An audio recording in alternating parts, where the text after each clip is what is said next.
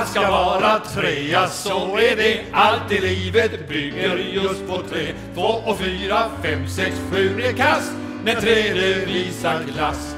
Ja, tänk efter för då ska ni se att det handlar om att vara tre. Alla goda ting i livet är att bara vara tre.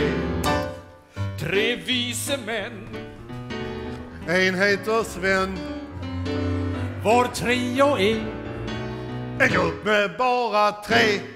Det ska vara trea, så är det Allt annat är passé Alla stora fenomen är tre. Musketörerna var tre de med Tre små grisar, ja, där kan ni se Att det ska vara tre.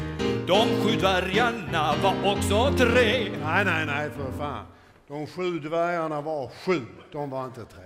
ja, Men de var ju så små ju. Ja, okej, okej. Tio budorden var också tre De är inte idioter folk. Tio budorden var ju inte tre, de var sju. Plus tre. Nej, stanna kvar Häng med och njut Nu gäller det för Neumann Sven Och Knut! Gjut Ni kan räkna med oss Tyst!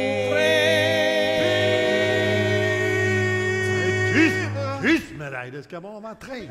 Fan, nej! Det ska vara tre för våran del Men sex är inte fel.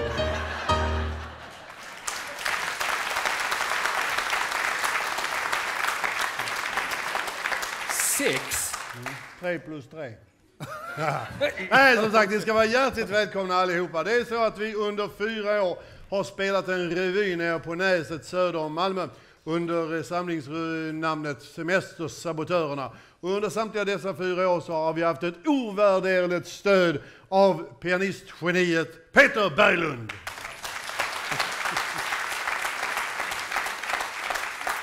Som sagt, fyra år har vi spelat och eh, under den här lilla turnén så hade vi tänkt att vi skulle, eh, ja, vi skulle visa det absolut bästa från de fyra åren. Ja, för det hade varit tradigt om vi hade visat det sämsta. Ja, nu är skillnaden hårfin, men i alla fall. Jag vill försöka i alla fall. Ja, så är det.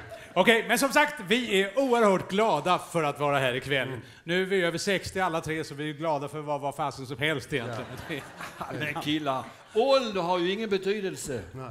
om man inte är en ost. Nej. Det är den enda oformliga massa som blir bättre med åren. Ja. Det är som Sven Melander ungefär. Jag är väl, jag är väl ingen oformlig massa. Nej, men du blir bättre med åren. Nej, men det är som man säger. Det är inte roligt att bli gammal, men eh, alternativet är inte heller så jävla lockande. Jag tänker ibland på killen som kom till doktorn och så säger doktorn, jag har ett mycket tråkigt besked, ska jag säga. Ni har tre minuter kvar att leva. Tre minuter? Herregud, vad ska jag göra? Ja, sa doktorn, ni kan alltid koka ett ägg. Så var det med det. Det är, om jag ska sammanfatta de här fyra åren som vi har då har kamperat ihop, så har det varit en outsäglig glädje att få dela scen med ingen mindre än Mikael Neumann. Oj. Tack, tack, tack, tack. Det var, det var En underbar människa, generös, vacker, högrest. Och det, alltså, kommer han från en genomusikalisk familj, ni vet familjen Neumann, och de spelar dut, dut, dut, dut, dut. Ja, oj, oj, oj, han en riktig dansk också, ta gärna. Så, ja då. Uh, skulle du inte vilja hämta... Ska jag hämta gitarr? Ja, ja. ja hämta då hämtar gitarren han gitarren. Nu blir det kvalitet. Oj, oj, oj, oj, oj. Oh, vilken fin gitarr du har, Ja, det Mikael. är en fin gitarr kan Ja. Den är från Kenya. Jaha, den är gjord i brunt elfenben. Det är fruktansvärt sällsynt, det får man bara från elefanter som röker. Ja, oh, ja. titta Ja. va. Mina- Ni märker redan nu hur bra det kommer att bli va? Ja, kan du inte göra så? Vrum. Jo, okej. det gör jag. Oh, wow. Jag ryser. Ja. Ja. Kära publik, mina damer och herrar. Eh, vi tänkte nu sjunga Vi? vi Ja, ja, vi, ja, ja. Mhm. Tänkte du inte vara med och sjunga den här Ja, visan? jo, jo, jo, men det kan vara klädsamt om du hade frågat mig innan. Du kunde ha sagt, eh, Sven, vill du sjunga en liten sång med mig? Så jag sagt, ja, visst. Ja. Ja, men så gör jag det. Sven, vill du inte sjunga en liten sång med mig? Nej. Jag bara skojar. Hur ofta får man chansen att, spela ihop med Mikael Neumann? Mm. Visan vi ska sjunga heter Längtan efter livet och det är jag som har skrivit den. Det var ingen som sa vi skulle köra en egen låt, men okej, det är säkert bra. Kom igen! Längtan efter livet är en visa som handlar om den känslan vi alla går med när vi går igenom livet i en lång för dag. Och en vacker dag står man kanske på äldre dagar och tittar tillbaka och tänker det var synd att man missade de här stunderna. Man passade inte på utan man hade så bråttom hela tiden. Man glömde barnen, man for vidare genom livet. Och så tänker man varför tog man inte ut de små stunderna i livet? Och därigenom Förlåt, kanske... förlåt, ja, ja, ja, ja. Den, här, den här visan vi ska nu sjunga, Ja, ja, det är lite ja. melodi. Du- Ja, du- du- du- du- absolut. Ja, och så är det en text. Ja, det är en text. På svenska? På svenska. Ja, så man kan förmoda att publiken förstår. Ja, det hoppas jag. Ah, vad fan står det då? Berätta alltihopa. Så, kör. Så. Längtan efter livet. Nu kommer introduktionen. Ja, vad fan skulle annars komma? Det är klart att det börjar med introduktion. Trodde folk sitter och undrar, åh, var det inte börjar med slutet? Det är klart det börjar med introduktion. Längtan efter livet.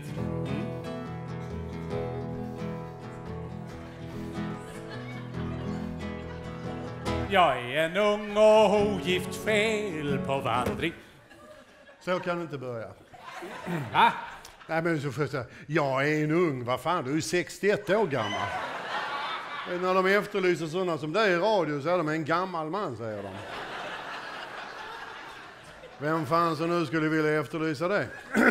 och så och ogift, du är ju gift, jag känner din fru. Du är gift, du har fru, du har två barn, du har två hundar, du har två bilar, du har hus. Ja men giftan så blir man inte.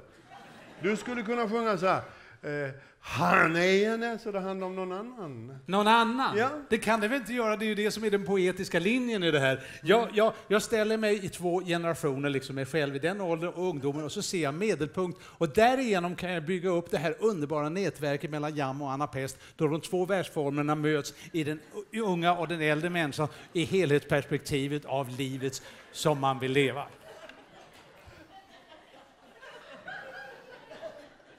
Trubadursnack. Skit i det, vi kör nu i alla fall. Så. Längtan efter livet.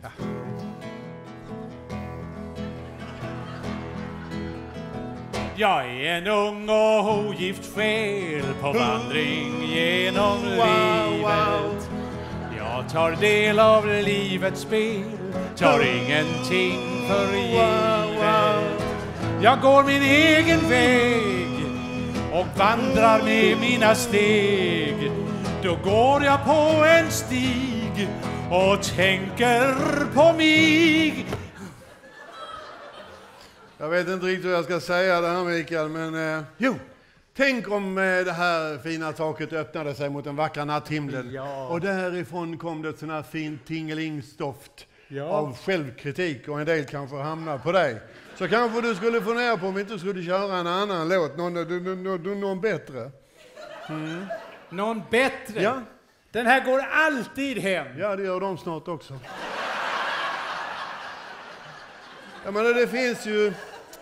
Den svenska visskatten är så rik. Vi kunde ju ta eh, Drömmen om Elin. Drömmen om Elin. Ja. Den kan ju vilken idiot som helst sjunga. Ja, det är ingen slump att jag föreslår just den.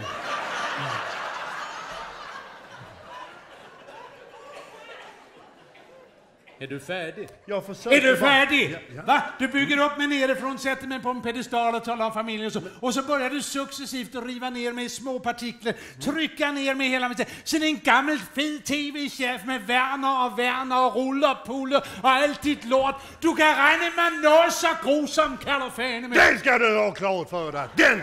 Den gör du jävlar inte till mig. Gå och sätt dig. Ditt jävla wienerbröd.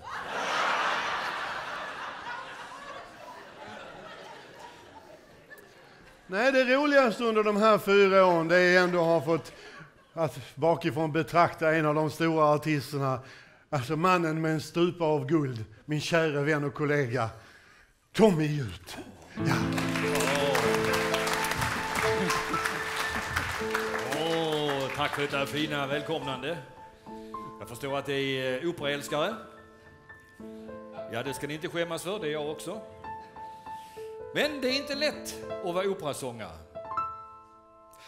Vem kan fatta ett ord av en text när man sjunger så här? Nej, ingen själ. Det är meningslöst, ja, fullständigt onödigt medan besvär. Nej, detta känns fel. Jag har övat och övat och övat just för att få fram en viktig text Men ni struntar totalt i min sång och allt vad den beskriver är komplext Pärlor svin just vad det är. Yeah, yeah, yeah. Operatexter är ingen succé. Jag kan lika gärna sjunga tralalalalala. Eller supa, slåss och svära alla ord går lika bra. Umpa bumpa, umpa bumpa som i schlagern vill ni ha. Något innehåll i texten, för e är ju bara blaha Mamma mia, mamma mia, italienska det låter väl fräckt. Pizzeria, pizzeria, capricciosa det låter väl käckt. Prata, prata, tjata, tjata, prata, tjata, mamma mia. Det låter väl bra, gnata, gnata, tjata, tjata, gnata, tjata, pizzeria. Ja det ska det vara, la la la la la. Ja jag sjunger tralala, för det går lika bra. La la la la la la. La Hör ni vad jag sa? La la la la la la la. Det här går lika bra. Bla bla bla bla bla bla.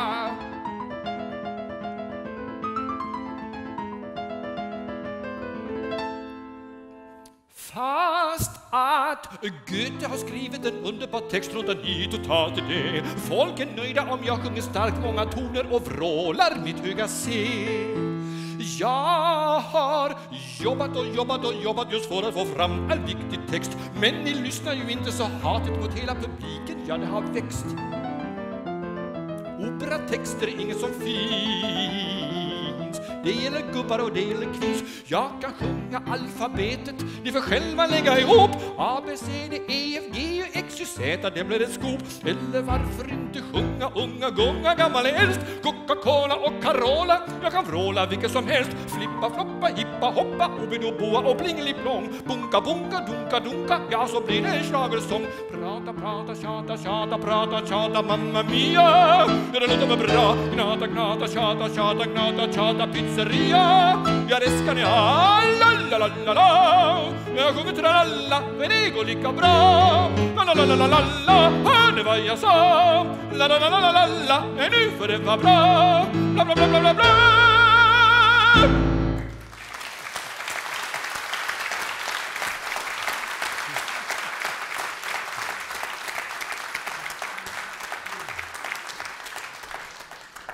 När jag började i skolan på, eh, faktiskt på 50-talet så bland det första som hände det var att de överlämnade en bok till mig och den hette Vill du läsa? Jag försökte säga nej, men det, det var en mycket retorisk fråga, man var tvungen att börja läsa i alla fall. Och den här boken var rätt intressant, den speglade väldigt mycket av 50-talets Sverige, det vill säga att innehållet handlade väldigt mycket om en familj, en svensk kärnfamilj med mor och far och barnen Toto och Lisa, noggrant födda inom äktenskapet. Och så hade man en hund som hette Karo och jag ger mig fan på att han också var född inom äktenskap. Sen eh, dess så har ju familjebildningarna blivit lite annorlunda i vårt land och om den här boken, om Vill du läsa, var skriven idag så hade det kanske låtit så här istället. Mor är rar, far är kar. Mor är konsult, far är macho. Här är fars och mors hus, det är ett radonhus. Huset ligger vid en sjö, sjön är sur. Far ror, mor vindsurfar. Far tar en fin fisk, han ger Karo fisken. Karo spyr. Toto är rar, han vill ha fred. Toto leker med en ballong. O mor, säger Toto, ballongen är knottrig.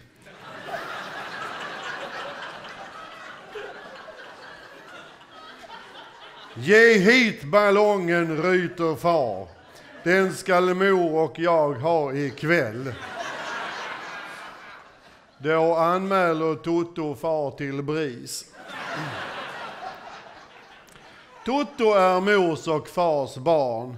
De skaffade honom för fyra år sedan. Hans är Totos halvstorebror.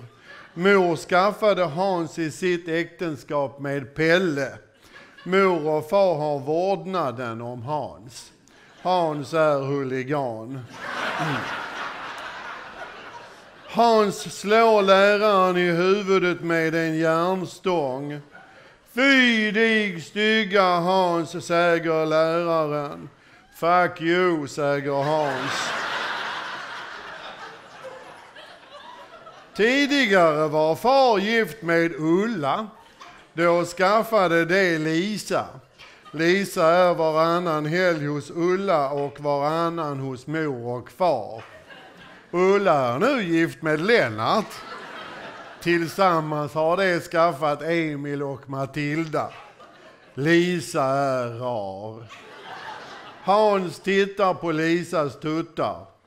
O mor, jag vill ha intimt med Lisa, säger Hans. Det går inte, säger mor. Jag vill, säger Hans. Lisa är din halvsyster, säger mor. Jag insisterar.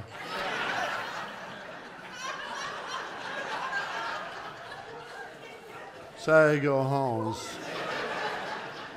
Far är transvestit. Toto skrattar när far tar på sig mors fina klänning. Far är mor, säger Toto. Mor och far har en dålig relation. Gunnar är rar. Mor träffade Gunnar på en konferens i Sala. Nu är Gunnar mors sambo. Gunnars dotter heter Titti. Titti är Tottos halvlilla syster. Titti är rar. Far har gått i konkurs. Karo är död.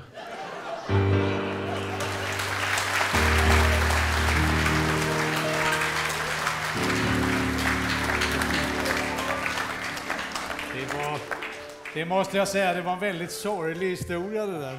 Va?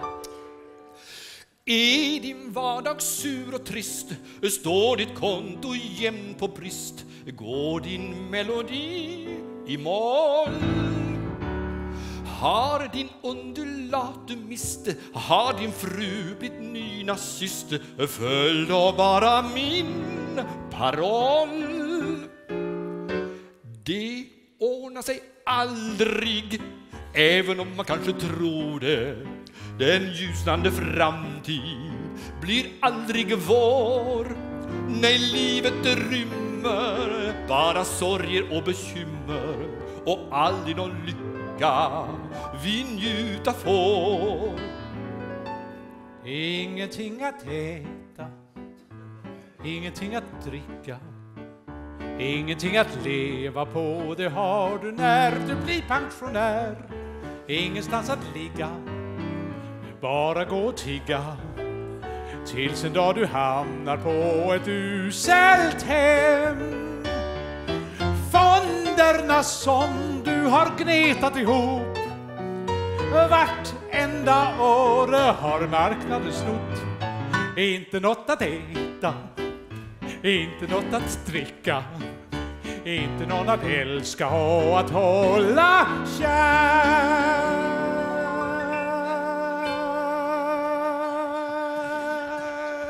Sämre och sämre dag för dag.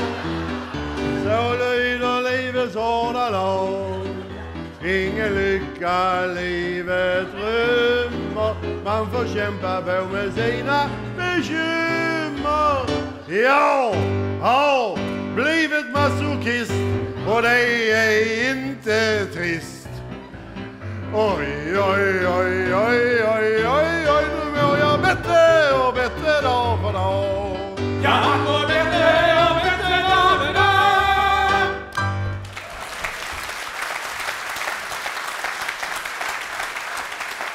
Aj, aj, aj.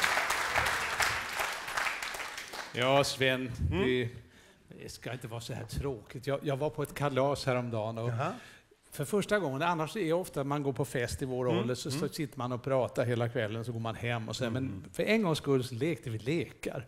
Och vi hade en sån kul lek så jag tänkte den, den måste jag testa på Sven. Det var jäkligt roligt. Fruktansvärt. Nej, du är med, du ställer upp? Ja, ja. Ja, det är underbart. Det är inget fysiskt. Nej, då hade jag inte valt dig. är du med? Ja. Okej. Tänk på ett tal. Vilket då? Ja, vilket som helst. Ja, det är inte så lätt. Ja, men det är bara att ta ett i högen. Ja, ska det vara ensiffrigt eller? Spelar ingen roll. Udda eller jämnt? Spelar ingen roll. Det är svårt när det är så opreciserat. Ja, men vadå Ja, opreciserat? vilket tal det rör sig om? Ja, det är för fan bara en lek. Jag behöver inte bli arg nu. Nej, nej. nej, nej. Ja, men, det- det- tänk på en figur istället då. Vilken då? Ja, vem som helst. Jaha. Fast nu hade jag precis börjat tänka på nio. Men då går vi tillbaka till talen igen. Talen, ska man tänka på mer än ett? Nej, tänk på ett tal. Ja, det har jag gjort, nio. Ja, men, det är bra, men du får inte säga det. Jag får inte veta om vad det är för tal du tänker på. Då kan jag ju tänka på vilket tal som helst. Ja, visst! Fast just nu så tänkte jag på Umberto Marcato. Varför det? Ja, jag var lite kvar att tänka på en figur parallellt liksom. Vem, vem, vem, vem är Umberto Marcato? Det var han som uppfann radion. Eller om det var Umberto Marconi. Mm. Ah, ja. Alltså, ska du tänka på ett tal eller en figur? Mm, får jag ta nio? Ja! Bara du inte säger det. Jag undrar om inte han var gift med Gita Nörby. Vem? Umberto Marcato. Ah, men herregud! Alltså, tänk på ett tal nu. Tänk på ett okej, tal. nu Ja. tänker jag på ett tal. Ja. Det är bra. Jag kan säga så mycket som att det är icke nio. Ja, det är bra. Bara du inte Du säger kan aldrig gissa vilket tal det är. Nej. Förresten var det Dario Campiotto som var gift med Gita Nörby. Ja, men okej. Ja. Du, du har det talet i huvudet, då dubblar du det. Det går inte. Vadå går det inte? Kan du inte räkna? Nej, det går inte säger jag ju. Vadå går Vad är det för tal då? Ja, det fick jag inte säga. Nej, men det spelar ingen roll, men med tanke på att vi ska leka den här leken så måste jag veta vad det är som har blivit fel. Så snälla Sven, berätta vad det är för tal nu. Jag säger det nu Jag då. säger det. Blir du inte förbannad? Nej, nej, nej. Jag tänkte på Gustav Vasas tal till dalkarlarna.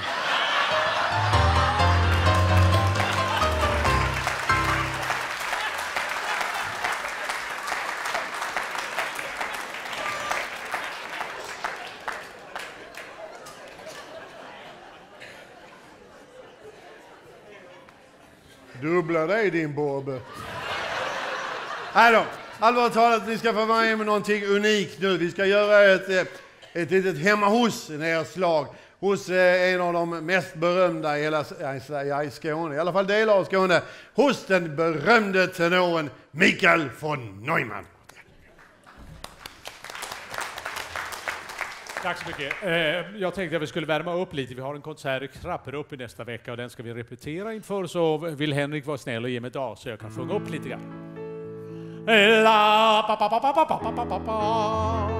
La pa pa pa pa pa pa pa pa pa pa. Ma pa pa pa pa pa pa pa pa pa pa.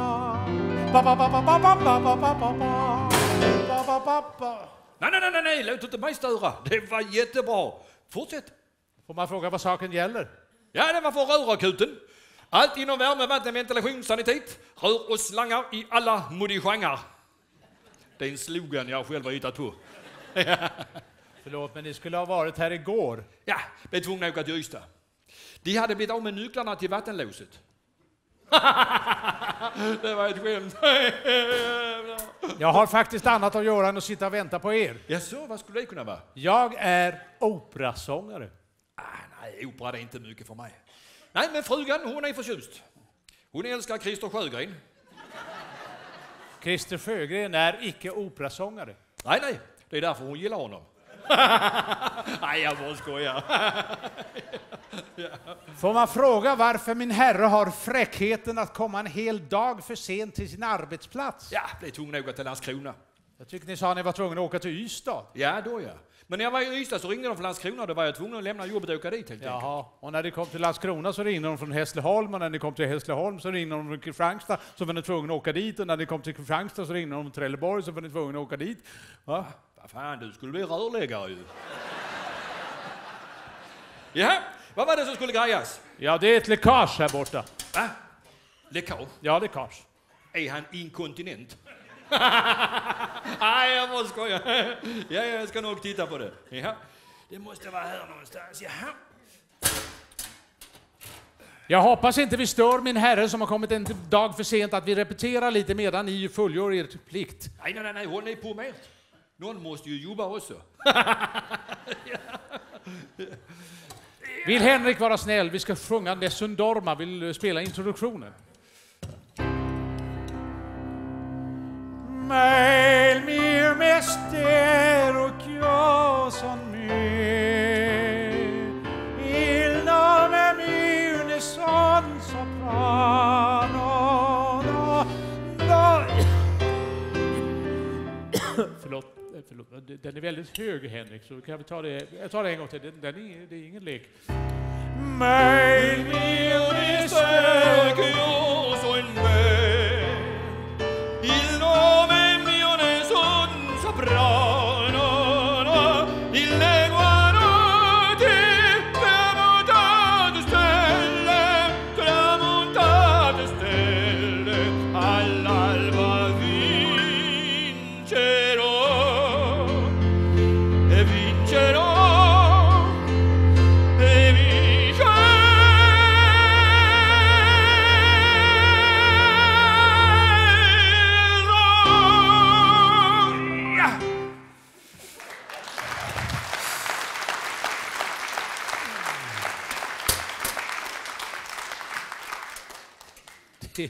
Det, var helt fantastiskt. Det var inget med dig. Jag har aldrig varit med om det smaken. Det var ju helt otroligt. Det hade du klarat själv om du bara hade en ordentlig rörtång.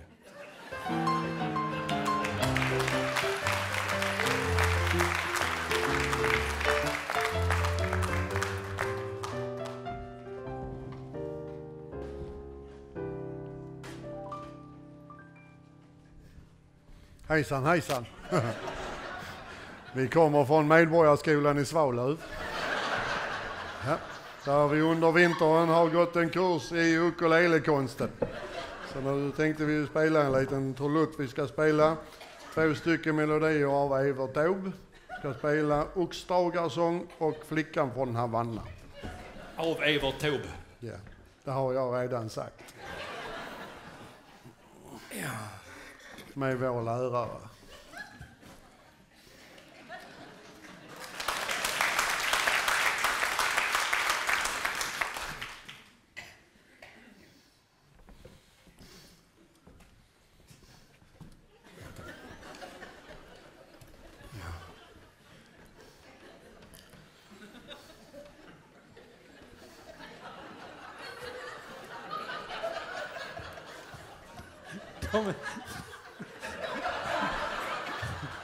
De liknar Bill och Bull. Det är jag som är Bull. Jag är Pete. Pitt. Vi är Pitbull.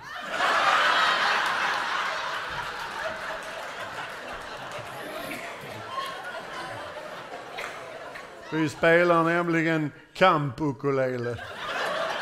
Kamp-ukulele. Vad är det? Om man inte är kastrerad för då, fi- för då finns inte jag. Då är det bara bull. Sitting Bull.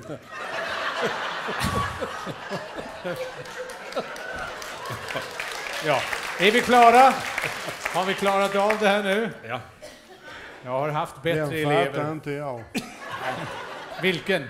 Sitting bull. Sen ska vi på turné På turné? till Bulgarien.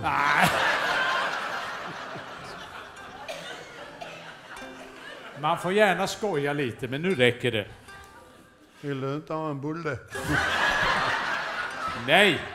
Jag brukar spela bol ibland. Nej. Mina damer och herrar, vi ska nu spela två stycken av Evert Taube. Det har vi redan sagt.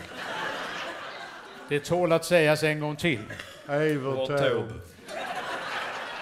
Vi ska spela Oxdragarsång och Flickan från Havanna, fast i omvänd ordning. Vilken ska vi börja med? Flickan från Havanna, och jag räknar in. Är det okej? Heter det inte i Havanna? Ja, jo, sa jag något Du annat? sa flickan från Havanna. Ja. Då kan de bo var som helst. Ja. Flickan från Havanna i Eslöv. Till saken. Nu räknar jag in, och jag gör det på engelska. Och så tror du att vi följer med? Ja. Jaha, I have a dream. Du kan nära ett fåfängt hopp. Vad säger du? Ska vi hänga med? Ja, vi hänger, vi hänger på. Ja, ja då. Ja då, vi hänger med.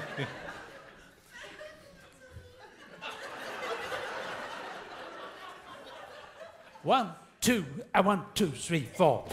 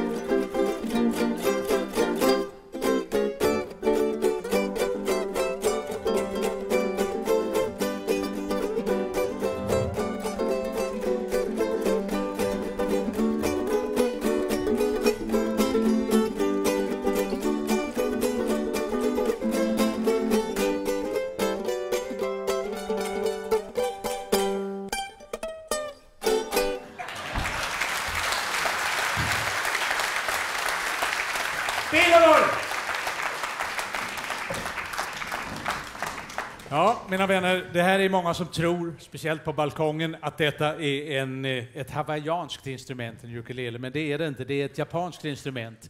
Den heter egentligen en yokolele. Yoko betyder liten på japanska, lele fyra, alltså en liten fyrsträngsgitarr. John Lennon hade en, den hade bara en sträng, så det var en Yoko Ono. Ja, ja. Jag ber om ursäkt. Eh, skälet jag pratar om det, det är faktiskt så att eh, Paul McCartney, som är en av mina stora idoler, han skrev när han var i 20-årsåldern en text som heter When I'm 64, en fruktansvärt framtidsperspektiv, hur gammal han skulle vara när han var 64. Han skulle sitta och vänta på ett vykort, han skulle gå ut med hunden lite och sitta och lägga ved på brasan. Så blev det inte. Paul McCartney står fortfarande och lirar rock'n'roll för fulla muggar och fixar brudar och allting. Och så tänkte jag om han hade skrivit When I'm 64 idag, då hade det varit en återblick. Skulle han skriva en framtidsvision så hade det istället blivit en ålder över 100. Den har jag skrivit och den kommer här när jag blir 102. Lägg märke till det avancerade ukulelesolo som kommer mitt i. Börja inte applådera och förstå och ropa bravo, det är lätt till, nära till hands, men den kommer nu.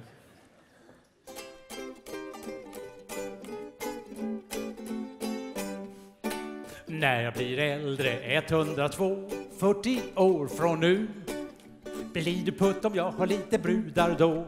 Spelar rock'n'roll, håller show Sitter du kvar när jag kör min hoj? Om jag öser på. Håller du stilen, älskar i bilen när jag blir 102 Varje sommar ska vi bada nakna på en härlig strand i Piteå. Campingplats och slagsmål då och då. Ooh. Grupp sex och håll igång. Hela natten lång. Utturné med groupies och chicks Blanda lite fix. Riva ner hotellrum, dricka bärs, bli knall. Visst kan pensionär ha ball. Hör apparaten skruvar jag på. Johnny go men go jag gör som Fantomen, kör med kondomen När jag blir 102 När vi har ett gig, vi sparkar sönder hela våran rigg. Vi har mycket spänst på turné. Vi åker med färdtjänst. Oh, oh, Rock det är jäkligt kul. Hemma är det strul. När jag blir hundra, då är det slut. Kärring, det är ut. Jag vill inte ha en tant på 90 år. Det är något jag tror du förstår. Jag vill ha en med tuttar och lår. Fräck så det förslår. Sexig och läcker, ung så det räcker. En på 60 får. Är brudarna fagra kör jag med Fiat När jag blir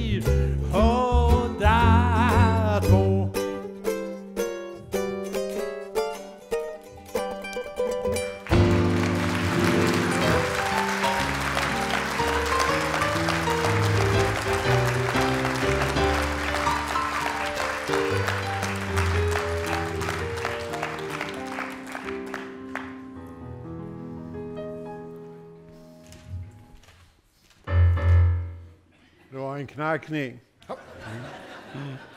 Välkommen, stig in. Mm. Är det här NF, NF, IEG? Alldeles riktigt. Jag har Välkommen. fått en kallelse att jag skulle vara här 11.30. Ja, stämmer precis och ni är punktlig. Det är en väldigt bra början, varsågod och sitt. Jag vet inte riktigt vad det är, men det måste väl vara någon form av myndighet, annars kan ni väl inte kalla in folk sådär bara? Nej, det stämmer verkligen så ja. Det här är NFNFIEG, Nämnden för namnsförändring inom den Europeiska gemenskapen.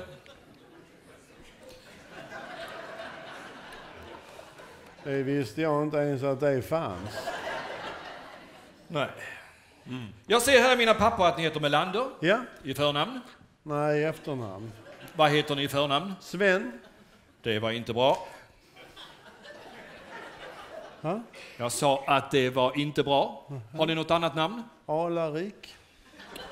Det var inte mycket bättre. Men vad är det här för Ska någonting? vi se, Sven, Sven. Sven, det har vi här ja. Sven är alltså ett fornnordiskt substantiv och namn som betyder ung man eller yngling. Och det är ni ju knappast. Vadå? Ung man eller yngling. Nej, men det är ju mitt namn. Ja. Nu har vi eh, nya regler inom EU. Och har man som ni passerat, och jag menar verkligen passerat ungdomsstadiet, så kan man inte heta Sven. Det är falsk varudeklaration. Men det är ju ingen varudeklaration, det är ju mitt namn ju. Ja, men det är klart att det är en varudeklaration. Precis som eh, falukorv måste komma från Falun och parmaskinka från Parma så kan inte gammal julbent närsynt gubbe med hår i öronen och tveksam dentalstatus heta Sven. Ni hade ett annat namn också? Alarik. Herregud, mycket ska man höra. Alarik, ala, alarik har vi här. Det betyder alltså allhärskare. Är ni det? Va? allhärskare. Är ni så att säga chef över hela middevitten? Nej, självklart inte. Nej, då ryker det. Jag kan väl inte bara heta Melander? Ja, vi kommer till det senare. Nu ska vi bara hitta ett eh, lämpligt förnamn. Vad sägs om Siv? Si. Ja. Driver du med mig? Det är ju ett kvinnonamn ju. Ja, nu tycker jag inte vi ska lägga genusperspektiv på det här. Det finns faktiskt många män i Europa som heter Maria. Men Siv, har inte det någon innebörd då? Ja, jo. Egentligen betyder Siv fru eller hustru. Men om det appliceras på en man så försvinner denna innebörd. Ja, så har EU bestämt. Dessutom så tycker vi här på NFNFIEG att det är bra om folk i största möjliga utsträckning behåller sina egna initialer. Det är praktiskt om man till exempel ska ha ex libris. Nej, det... Ja, det är sånt man har i böcker.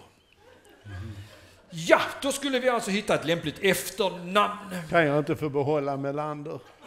Men Melander är ju totalt intetsägande. Dessutom enligt direktiven så ska, så ska namnet associera till någonting. Så som engelskans Smith, som betyder smed, eller eh, tyskans Bauer, som betyder bonde. Eller för den delen eh, tjeckiskans Horslava, som betyder... Ja, det ska vi inte gå så nära in på just nu. Nej, i Sverige så tittar vi mer på, på naturen än på yrkeslivet. Så vi här på nämnden hade tänkt föreslå namnet Malmqvist. Siv Malmqvist.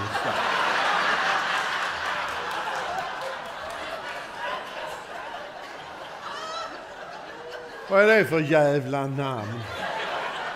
Nu finns det sannolikt ingen anledning att brusa upp. Det finns säkert många framgångsrika människor som har hittat så. Nu skickar jag in det här förslaget och det kommer en bekräftelse på posten. Och är det någonting ni undrar under tiden så har ni alla mina uppgifter på mitt kort här. Så. Och namnet var Anita Ekberg.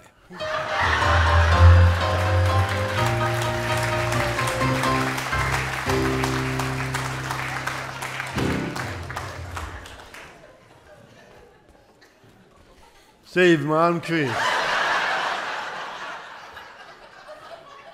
Alice Paps. Du har inte sett Ann-Louise Hansson? Jo, han sitter där.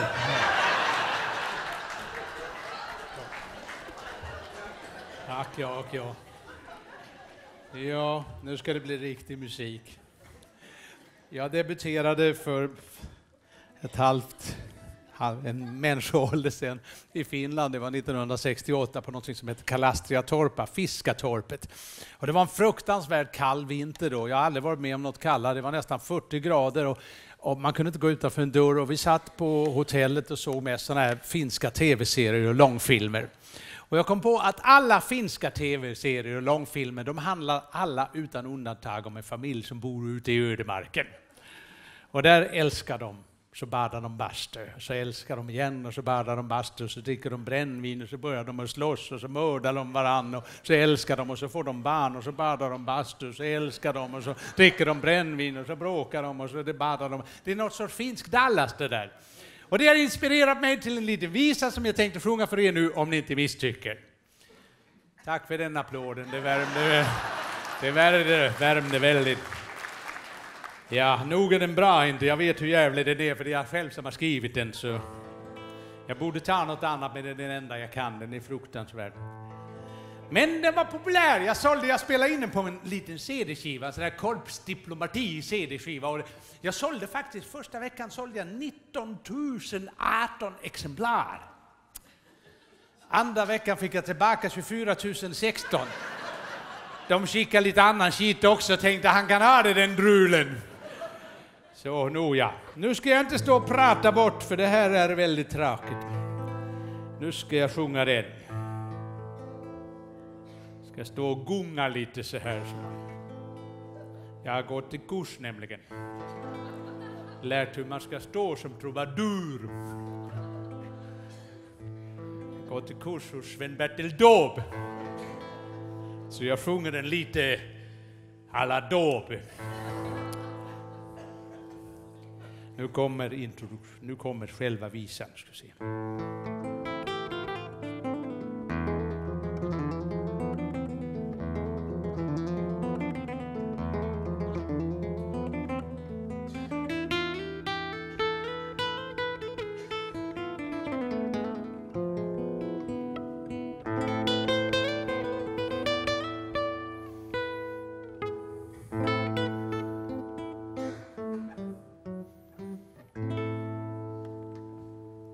Nästa visan. Jag ska sjunga... Nu kommer den! I Pelkosenniemi 1934 Jag satt i saunan, hörde vinterstormen börja yra. Min mor var död, min bror var död och mormor låg för döden. Det var så kallt och djuren svalt och det var slut på mjöden och gården brann och vi fick fly ut i den mörka natten. Jag sprang helt naken med mitt ris, nog var det kallt som katten. Av minus 30 grader fick jag froskare i lilltån. Jag sprang som fan, men den föll av när jag kom ner till Storån. Ja, livet var en plåga en plåga, en plåga. Ja, livet var en plåga, men ändå ganska kul. Där satt jag utan lilltå vid den isbelagda bäcken. Jag hade ingen filt, den blev ganska blå om häcken. Och gammelfarfar halkade och ramlade ner i vaken. Han var som is när en polis drog upp den döda kraken. Min svåger kom med kläder och med skor som var för trånga. Vi började vandra, foten sved och milen kändes långa. Vi gick och gick och kom till berget. Pyhentuhenturi, det heter så.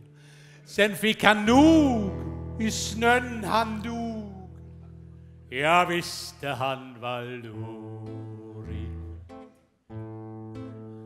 Ja, livet var en plåga, en plåga, en plåga. Ja, livet var en plåga, men ändå ganska kul. Jag drog hans tunga döda kropp längs bergets ena sida. Sen halkade jag och for iväg på svågens ena skida. Jag rasade ner i en ravin, nog kändes det i kroppen och som en flod, det spruta blod. Men stämningen var toppen. Jag kravlade i is och snö till den öppna steppen då plötsligt stod en vargflock där, de sa jag var en knäppen. De verkar ganska hungriga, jag tänkte i mitt inne. Sen åt de mig, men lämnade min lilla finska pinne. Ja, livet var en plåga, en plåga, en plåga. Ja, livet var en plåga, en plåga för mig. Ja, livet är en plåga, en plåga, en plåga. Ja, livet är en plåga, men ändå ganska kul. Men ändå ganska kul, men ändå ganska kul.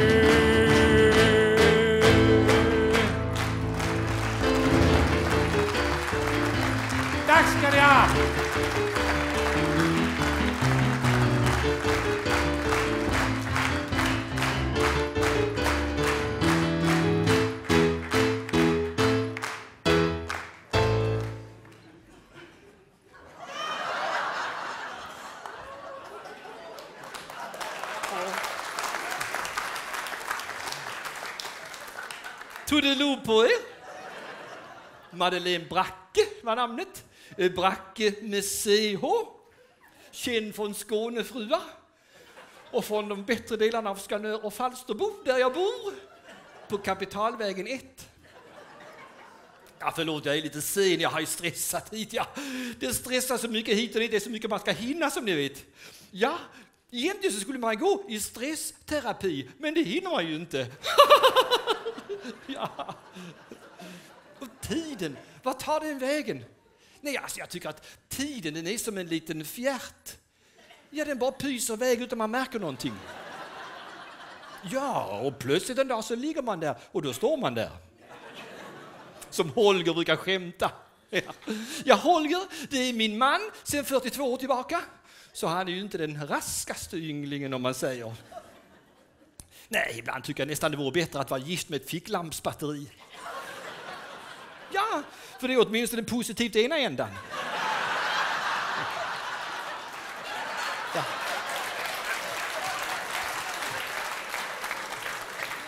Jaha, så det kände vi igen ja. Ja, ja, ja, det är lite olika i olika familjer. Ja. Ja, apropå det ja. Såg ni Victoria och Daniels bröllop? Ja, det var väl romantiskt. Ja, det var det verkligen. Jag skickade faktiskt ett bröllopstelegram till dem. Ja, ett litet råd i all välmening om hur Holger och jag har hållit ihop vårt långa äktenskap. Två dagar i veckan så går vi på en mysig restaurang, äter en god bit mat, dricker ett gott vin och njuter av sällskapet. Han går på tisdagar och jag på fredagar.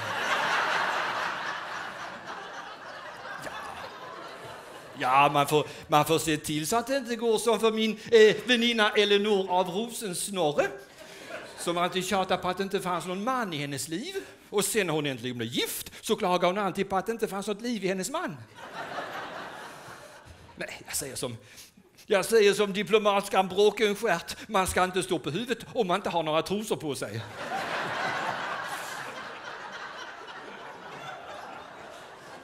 Ja, apropå det, vi ska ha gäster ikväll. Ja, så jag var nere en liten sväng i Skanöshamn och handlade lite hummer. 987 kronor kilot. Det är inte farligt. Nej, jag menar det är inte mycket mer än vad ett enkelt matlagningsvin kostar på Systembolaget. Men jag undrar så vad vi ska bjuda på mer ikväll. Jo, jo, jo, jo, jo, jo, vi var ju hos greveparet från Leversvikt nyligen.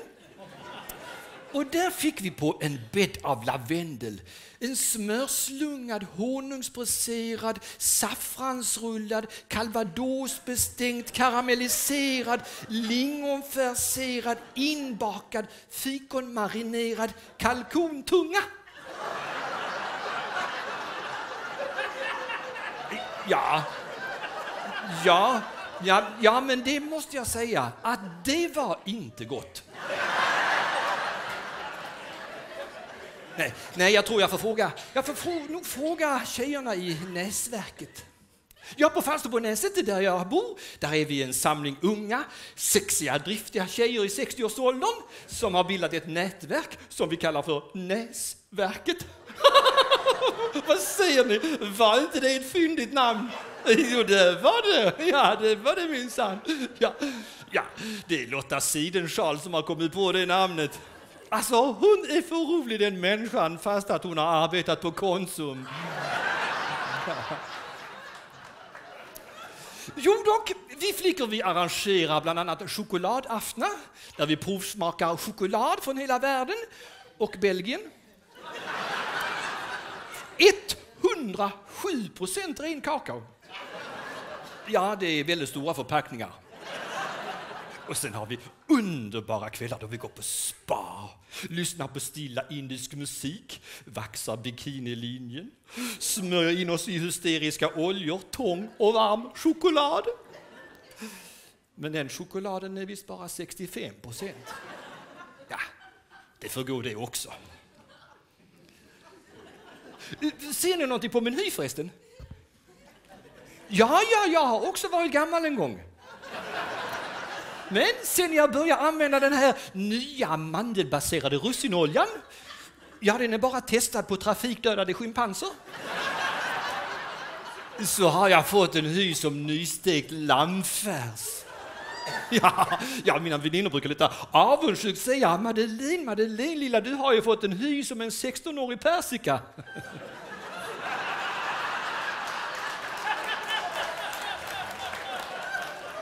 Ja, det är inte allt, det är inte allt som går snabbt. Ja. Men, men, men, men, men. Vi, vi flickor vi tänker sannoliken inte bara på oss själva. Inte tal om. Nej, vi har nyligen startat ett stort projekt som vi kallar för Rädda världen. Och vi har faktiskt gjort en insamling. I förra veckan så gjorde vi en stor insamling där vi samlade ihop 150 presentkort på NK. Som vi nu ska skänka till Afrika. Ja, alltså jag tycker att har man det bra ställt så är det ens plikt att hjälpa till så gott man kan.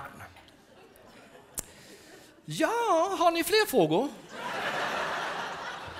Inte det, nej. Nej, då ska jag skynda och fynda en present till Holger. Ja, han fyller faktiskt 65 nästa vecka. Det kan man inte tro. Nej, det kan man inte se på honom. Nej, han ser betydligt äldre ut. Ofta när vi är ute och går på stan, Holger ja, då brukar folk fråga om jag är Holgers dotter. ja, det tycker Holger är så roligt för han älskar unga damer. ja. Men ibland, hörni, så blir det bara för mycket Holger. Då står jag inte ut med honom. Då vill jag liksom bara fly. Men hur skulle det se ut? En flykting i Vellinge kommun? Nej, vet ni vad? Tog det nog på er.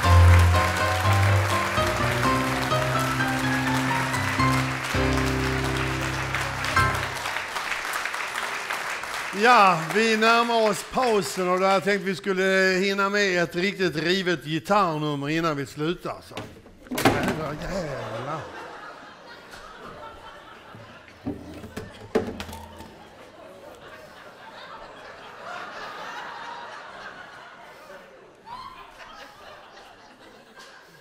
Det är Mikaels.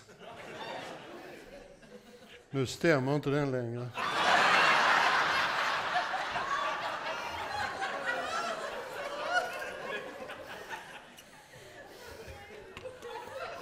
Hej Sven. Ja, hej Mikael.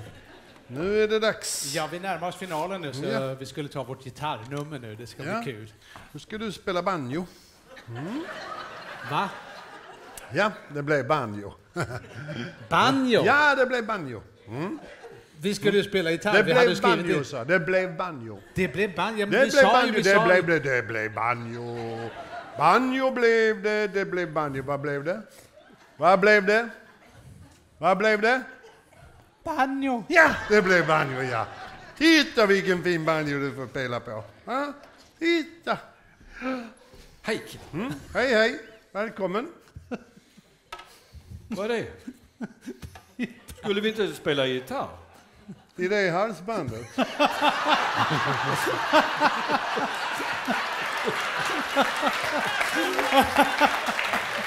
Ja, ja.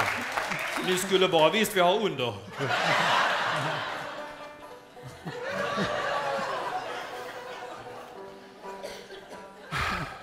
Men jag fattar fortfarande inte ändå bara.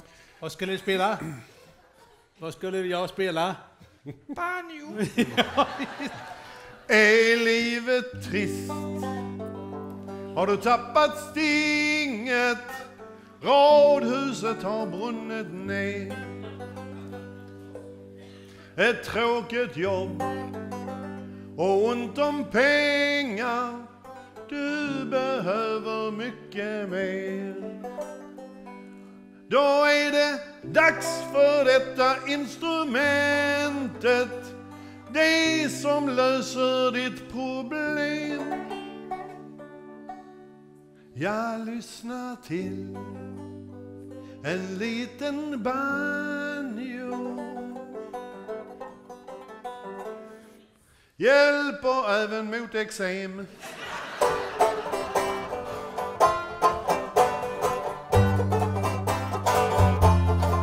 Din nya bil har fått punktering.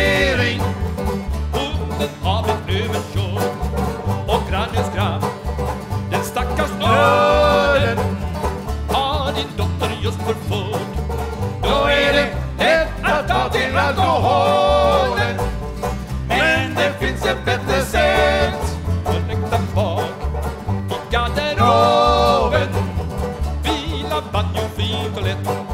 Hemlös och pank. Ta fram din banjo. Skramla pengar i en hatt. Kallbrand och gikt. Botas med banjo. Verket släpper på en natt.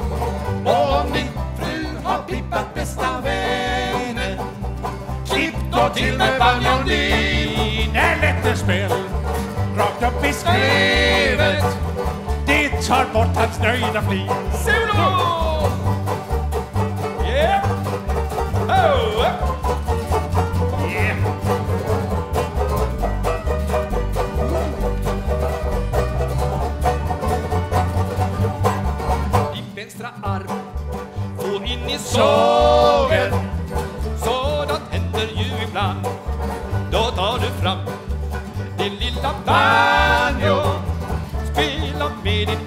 Enda Och dina fötter har du amputerat Så nu kör du permobil Ja, vilken syn. Du och din banjo Gatumusikant på jul.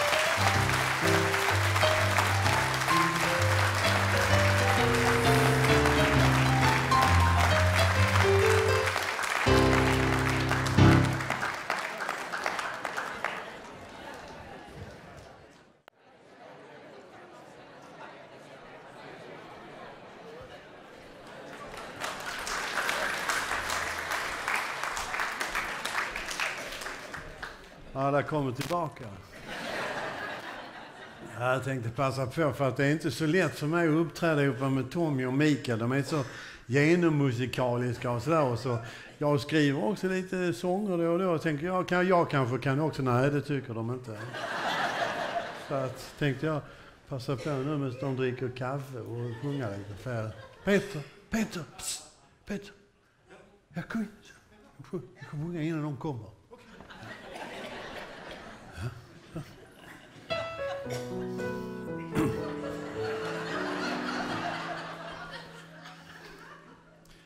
Ni ska höra kära bröder. Jag kan rimma helt utan fusk. När jag skaldar och jag föder Blir det aldrig någonting med snusk. När jag sjunger om fru Gittan tänker jag bara på glädjen.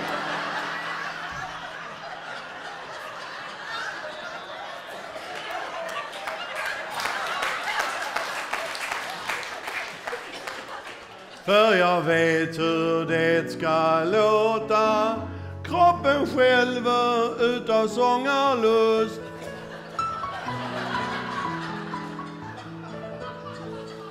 För att få de rätta stuken söker jag i skallningen tröst.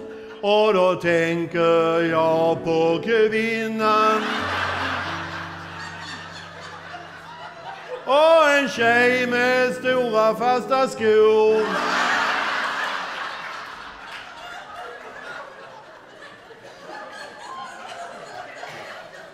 När, när det darrar till i kroppen tar jag fram den stora glädjen. Mina känslor de är fulla jag vill varenda dag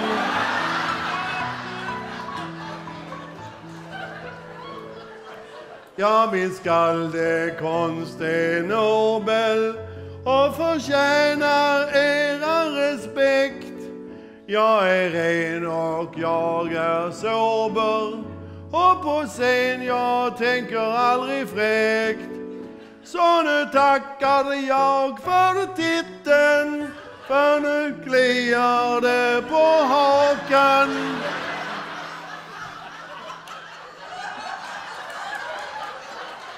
Tänk jag klara denna sång och nu står jag här med våldsam glädje.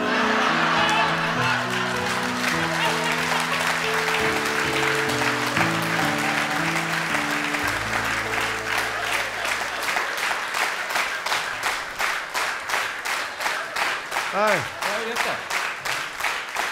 Ja, jag bara kollar så alla hade kommit tillbaka. Ja, vad bra.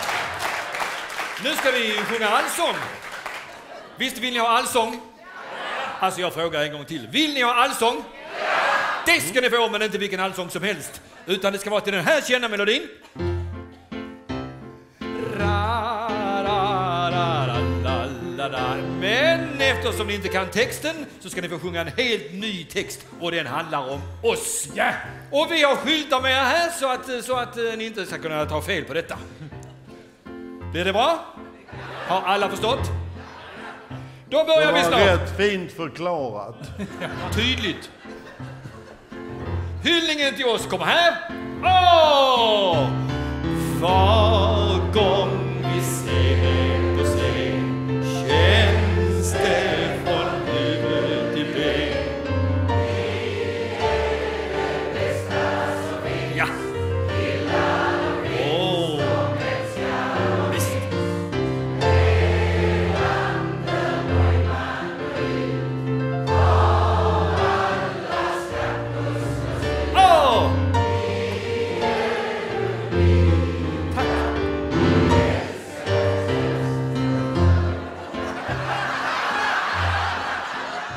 Så sprack det. Detta var inte bra. Det är nog det sämsta jag har hört. Nej, men det är lite kladdigt. Det är så att man ska trycka på vi och er. Då är det så. Ni är unika. Vi älskar er. Möter de en namn.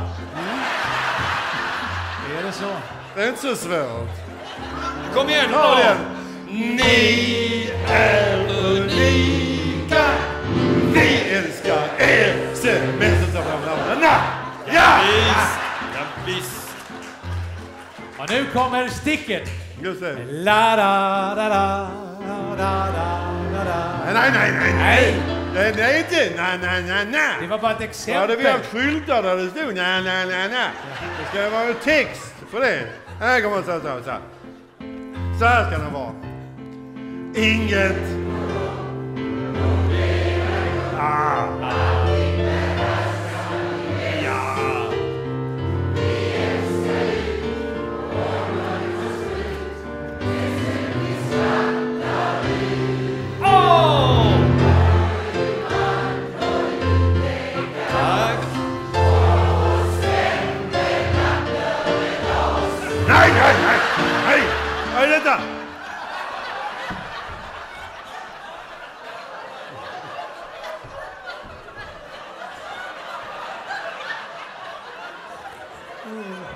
Jag har glatt mig till den här kvällen.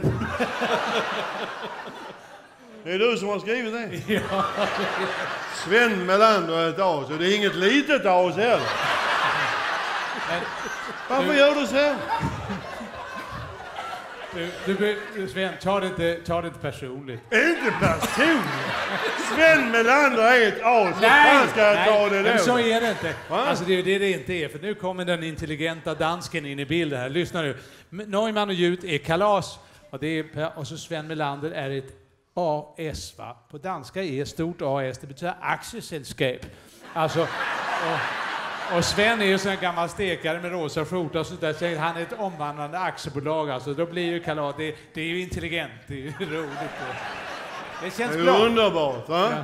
Neumann är ute i kalas och Sven Melander ett aktiesällskap. Jag presenterar Danmarks Viktor Rydberg. Va? Vilket rim. Den kan du ta undan direkt.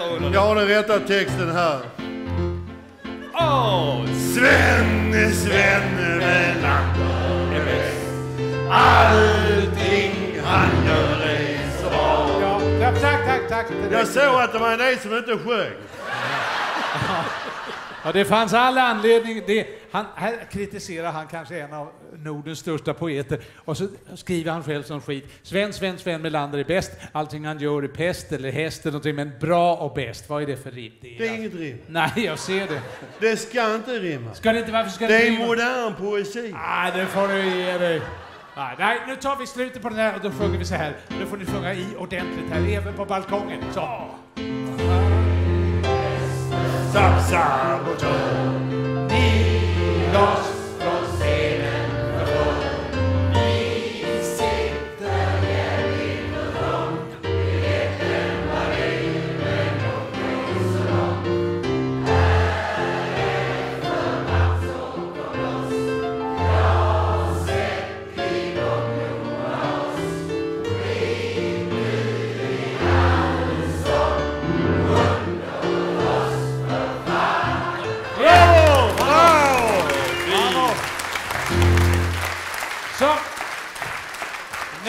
ska det bli allvar. Nu ber vi att komma tillbaka till vardagsrealismen. Vi ska nämligen spela upp en sketch, parkeringsvakt.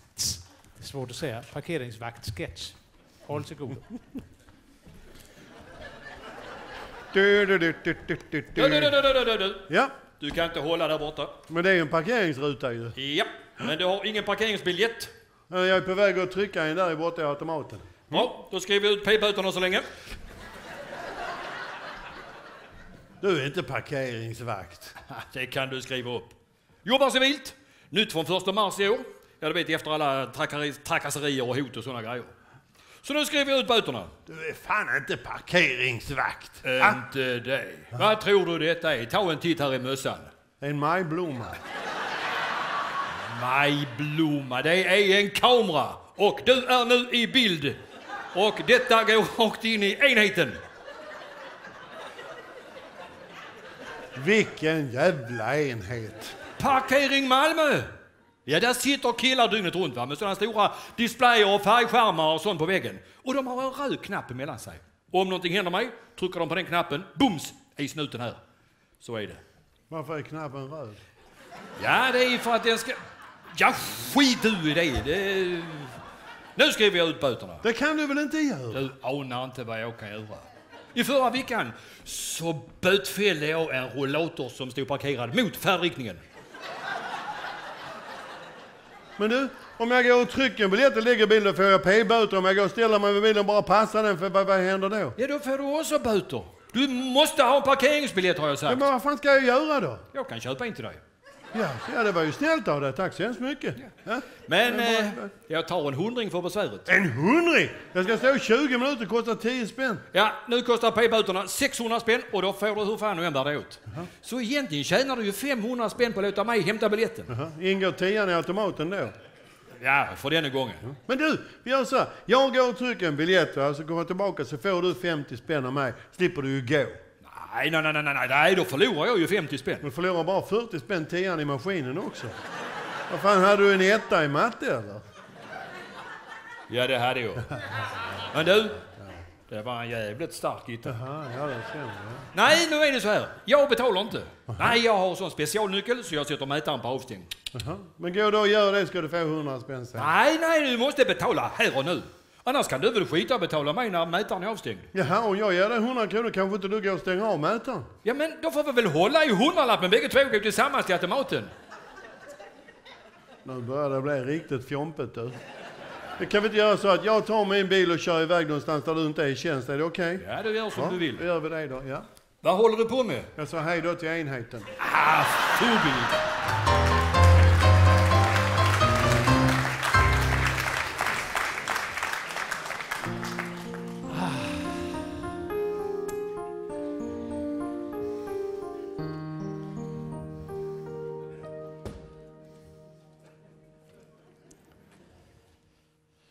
Först så ställer man stolen på högkant så här så att man får en klar överblick över dess konstruktion. Sen så skrider man lugnt och metodiskt till verket. Först tar man ett grepp i den yttersta ramen som har liksom flera små hack här i sidan som alla kan se.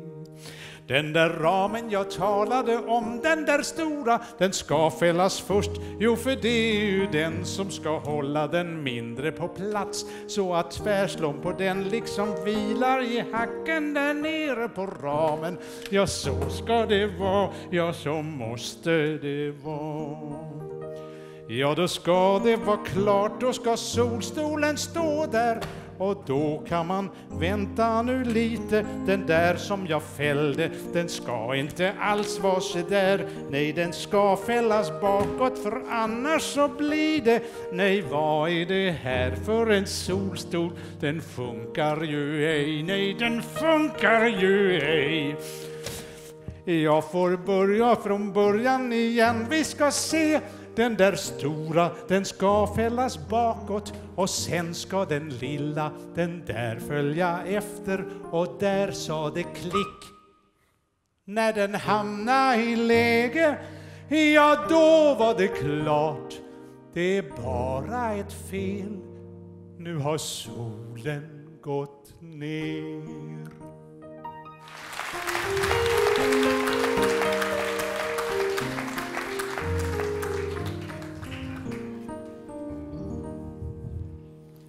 God afton kära tittare.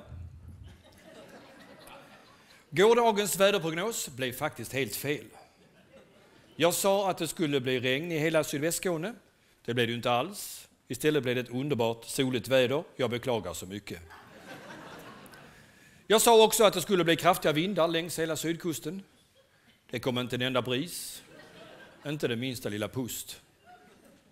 Min prognos för Skånes inland blev faktiskt också helt misslyckad. Det lätta regn som jag förutspådde för sydöstra Skåne, det drabbade inlandet istället i form av skyfall. Kära tittare, jag vill ni ska veta att jag mår fruktansvärt dåligt idag. Ja, inte bara idag. Alla prognoser blir ju fel. Ingenting blir som jag lovar. Man skulle nästan kunna tro att jag är politiker. Ja, min psykolog har visserligen sagt att det är inte mitt fel ifall vädret inte blir som jag säger. Men varför ska jag då stå här vecka ut och vecka in och bara lova en massa hit och dit som ändå aldrig stämmer?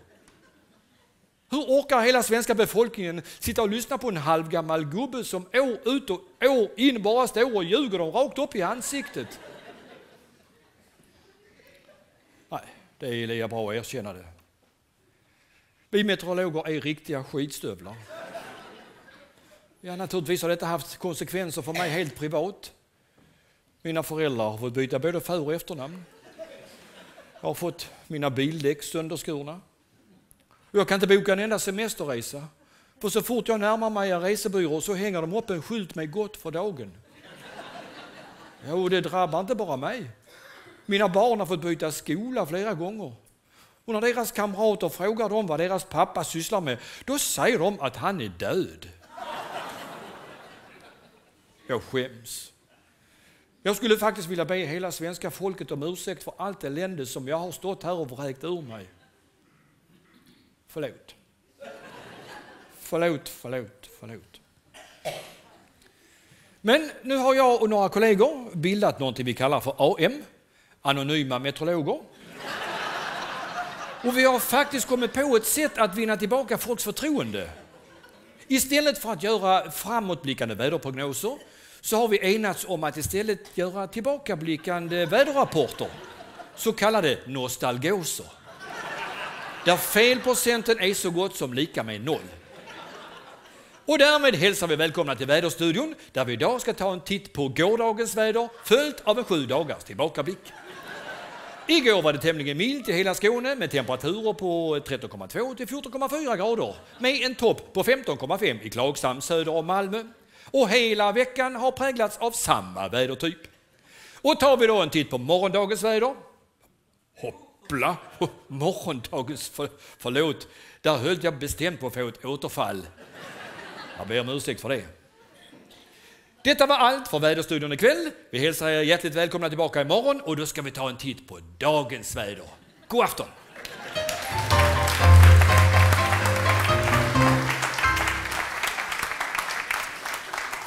När vi gjorde revyn för några år sedan så möttes vi av beskedet att eh, det hade blivit förbjudet att röka på krogen. Det var ett beslut eller en lag som hade eh, en massa konsekvenser med sig.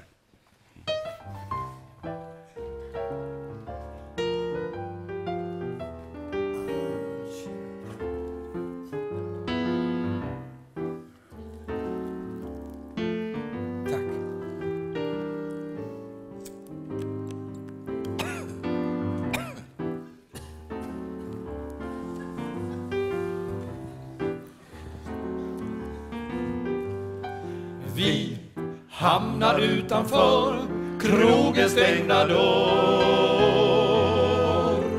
Alla spelar boss, skäller jämt på oss när vi tar ett blås. Ooh, Vi ses som världens pack, folk går till attack. Ingen vill vi finns, varken män och kvinns, när vi tar en prins. Tänk tillbaks, man gick omkring och mös. Tufft blossande på en cigg Man var skarp som bågat i en film. Efter ett ligg.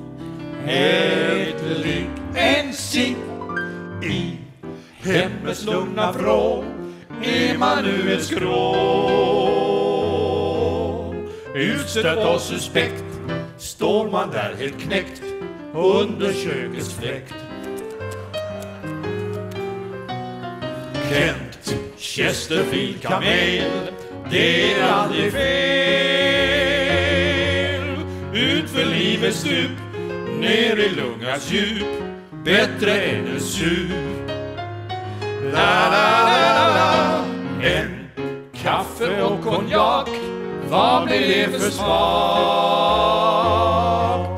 Utan en cigarr, tanken är bisarr, fattar inte barr.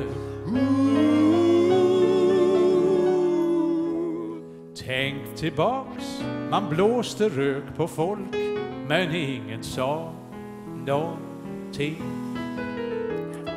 Om de kved, då röt man till och sa här är jag king. Försvinn, försvinn Nu är vi ett patrask med vår lilla ask Utstängda i nöd, cigarettens glöd är vårt enda stöd Folks pekpinnar är strunt, rökning det är sunt. Alla ska vi dö Vi går upp i rök. Jävla munter gök. Se det på vårt sätt Livet blir komplett med en cigarett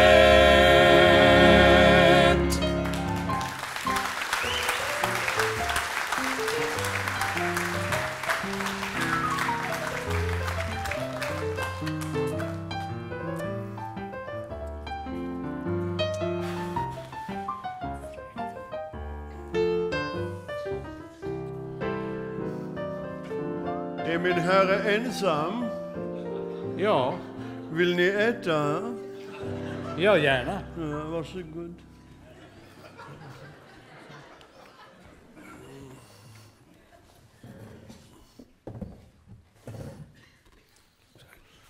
Tack, tack.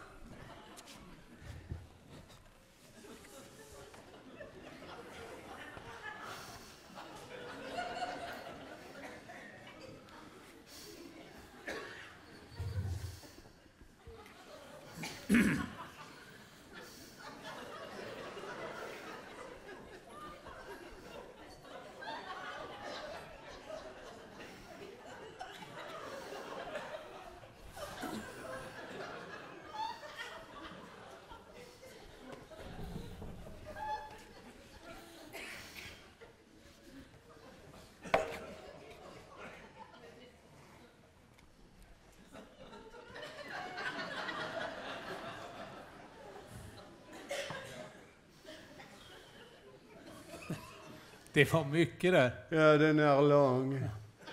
Ja, det var väldigt mycket. Ja, lång, lång. Det, det är inte så att ni skulle kunna rekommendera någonting? Ja, då skulle jag vilja rekommendera vår specialitet. Vad är det? Det är det jag tänker rekommendera. Ja, jag, jag för, för, förmodar det. det är, annars hade det väl näppeligen varit er specialitet. Men vad är det? Det är gott. Ja. Ja, jag förmodar att det är gott, annars hade det ju inte varit deras specialitet. Det var en osedvanligt intelligent reflektion för att komma från en svensk. Ja, men vad är det? Ja, en reflektion, det är en tillbakablickande tanke. En reflexiv tanke helt enkelt. Ja, men vad är det? Ah, vår specialitet Ja, som du tänker rekommendera. just det. Det är en eh, pain alsacien avec beurre épinard et un fromage pébavieux. Oj, det låter gott. Åh, mm.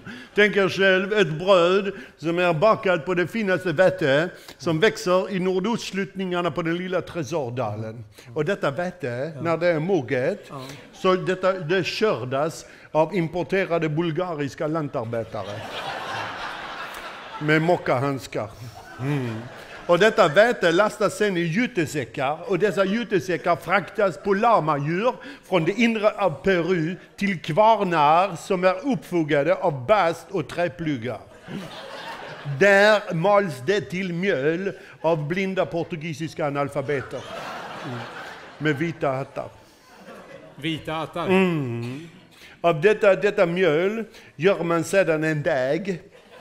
Och denna deg den knådas av 16-åriga albanska jungfrur vars fingertoppar har slipats med Nollans sandpapper och upprepade gånger doppats i åsnemjölk. Ljummen. Jajamän. Nej, ljummen. Jajamän. Nej, ljummen. Inte för varm, inte för kall. Ja, så- ja. Så är det. Ja. Och sedan knoddar de och knoddar och knoddar denna deg tills den klarar provet, le preuve. Provet. Ja, man lägger degen på ett marmorbord, Ja. ett bord av marmor. Ja. Sen knuffar man degen över kanten så att den långsamt sträcker sig ner mot golvet. Men strax innan den når golvet, Ja. den fjädrar tillbaka på grund av sin inneboende spänst. Då är den färdig. Av denna deg formas sedan avlånga bröd av brottare från Balearerna. Med underarmar påminnande om vevaxeln till en gräddvit Studebaker-kommando 1958.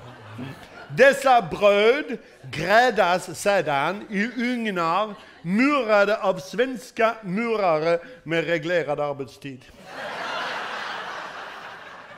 När dessa bröd sedan fått den fullständigt, fullständigt perfekta eh, gyllenbruna färgen och själva doften långsamt från brödet smyger sig upp genom ugnsluckan in i näsborrarna, mm. då, då får du stå inne lite till. Man vill gärna ha en skorpa. Mm. Sedan skär vi upp detta bröd med knivar tillverkade av myrmalm och skaftet av den sedan länge utdöda korsikanska silverpoppeln. Mm. På detta brer vi sedan ett bör epinar och så toppar vi det hela med en M-ystad, M-kryddad, M-lagrad, M-lig ost vid namn Bebevieux. Det låter otroligt gott. Mm. Men eh, förlåt, vad kostar det? 19 kronor. 19 kronor! Ja, vad fan, det är bara en ostmacka. Men vi säger 19 kronor, två för 40. Ja. Jag tror jag klipper till med två. Ah, Ja. då är det 14 dagars leveranstid. Under tiden vi erbjuder underhållning av Tommy Körberg. Nej, förlåt, Tommy Jut.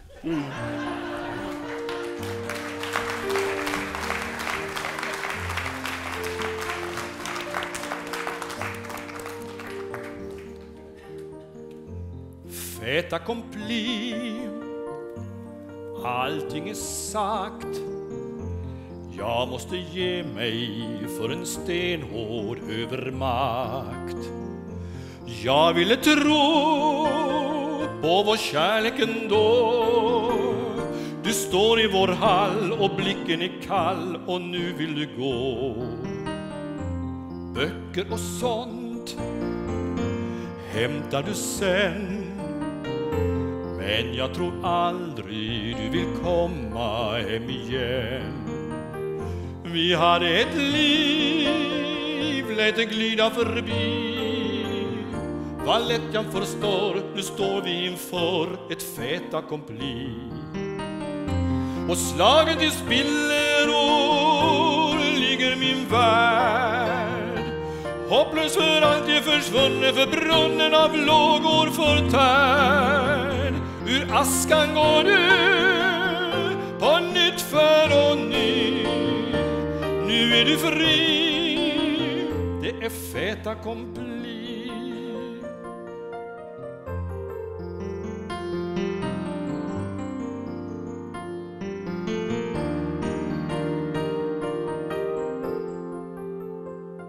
Man skulle vara minst lika bra som Tommy Körberg, vilket snille denne man.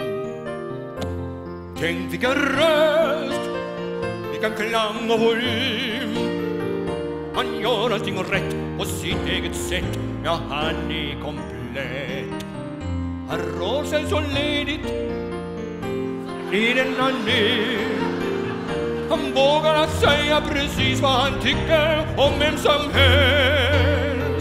Att vara som han är inget jag kan. Då skulle man ha hans feta komplex. Nej, på inget sätt är jag perfekt. Men jag får min lycka och frihet av av att vara mig själv. Att stå på en scen som är liten en. Allt känns så rätt, ja det är helt komplett. Ni gör mitt liv till ett fait accompli. Till ett fait accompli. Utan fait accompli.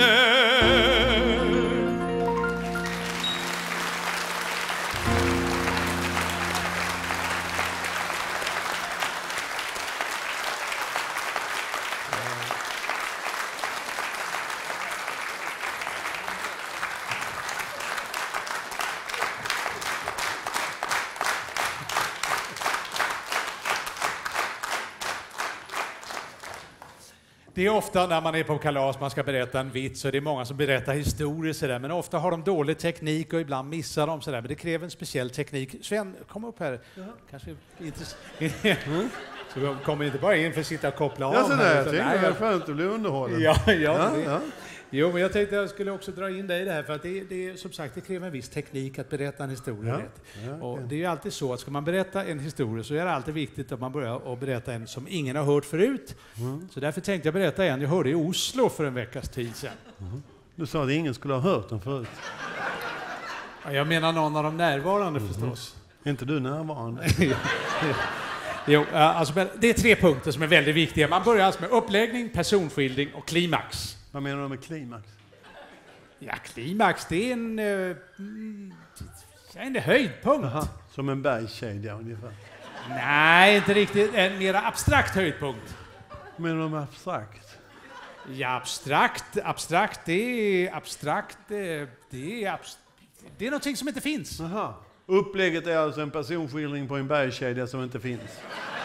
Nej, strunta i det nu. Nu berättar vi historien istället. Mm. Alltså, det sitter fyra man på en flotte. Och lägg märke till den dramatiska inledningen, för nu gäller det att få med alla från början. Va? Mm, då får ni komma upp här allihopa. Ja. Ja, men vad håller du på med?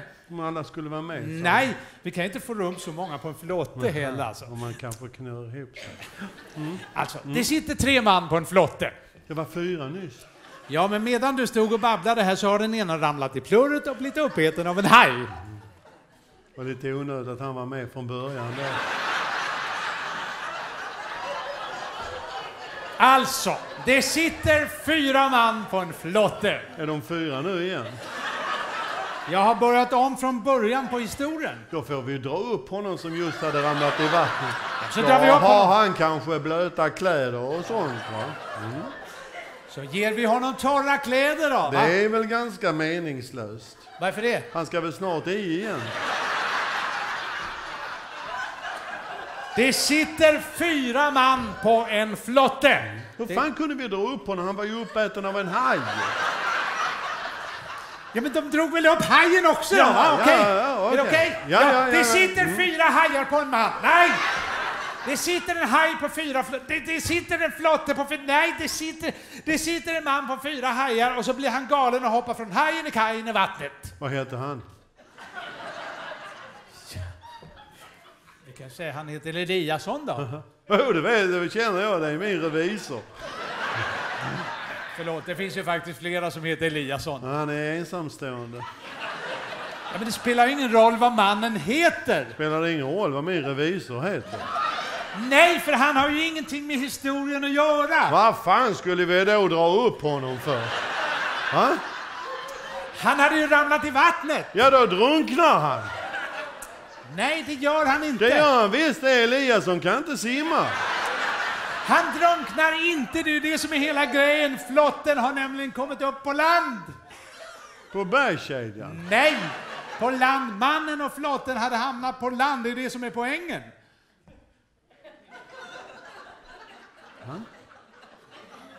Flotten och mannen stod på ängen.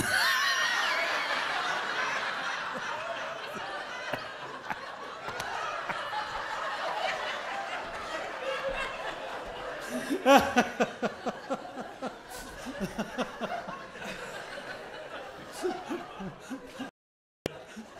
det är sånt som går i Oslo.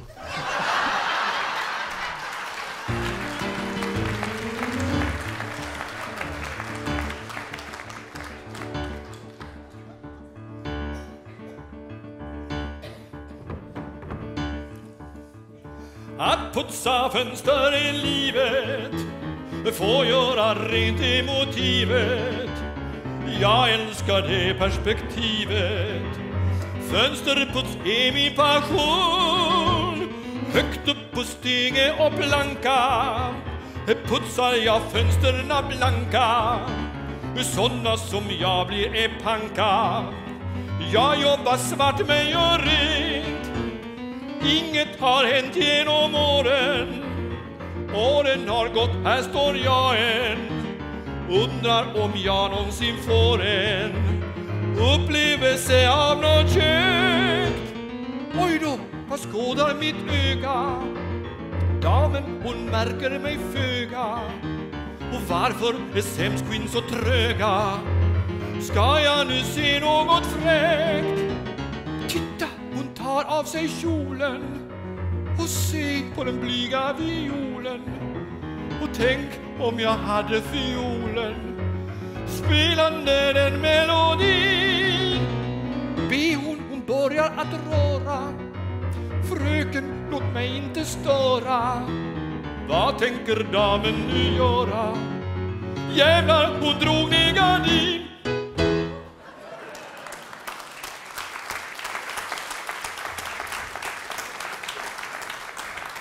Kära publik, hjärtligt välkomna till Kaleidoskopet där vi ikväll har en mycket, mycket speciell gäst. Han är imitatör och han är något så ovanligt som en sportimitatör. Han kommer här direkt från Hässleholm, Bengt-Åke Svensson. Där kom han.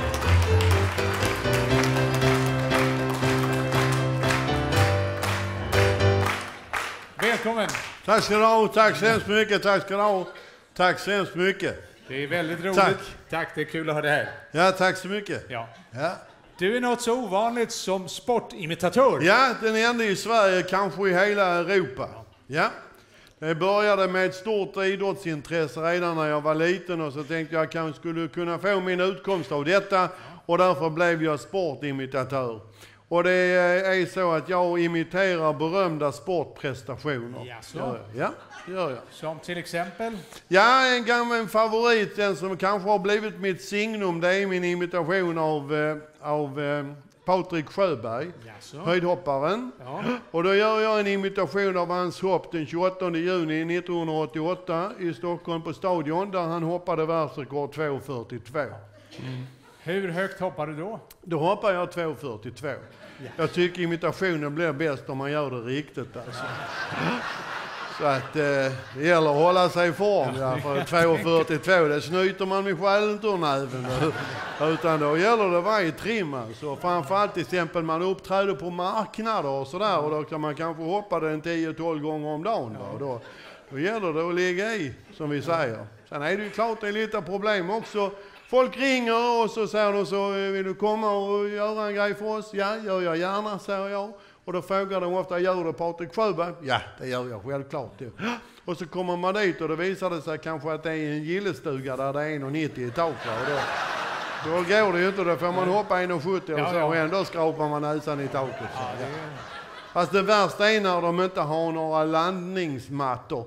För det har jag alltid sagt till, ni måste ha landningsmattor. Förr hade jag alltid det med själv. Ja. Men så bytte jag bil och då går inte de in där. Nej, nej, nej. Så då vill jag att de har landningsmattor. Och ibland kommer man till ställen och då har de inga landningsmattor. Och då är det jobbigt, man ska hoppa 2,42 Ja. och så är det bara ett betonggolv. Vad gör du då? Ja, då hoppar jag med hjälm alltså. För annars så slår man sig som fan. Ja, Så är det. Ja. Du Bengt-Åke, roligt. våran tv-publik här har ju väntat på den här kvällen och skulle vi kunna få se din imitation av Ja, eh, Patrik jag trodde mer att det var vi skulle bara prata så jag har inga grejer med. Men jag kan ju visa Ja. gärna hoppet ända fram till avhoppet. Ja, gärna det. Ja. Vill vi se Ja, det? ja. Säga. har du. Då gör jag eh, Patrik Sjöberg 1988 då, ska ni se. Då har vi ställningen där borta och så gör jag den, börjar jag här borta då, ja. så, ja.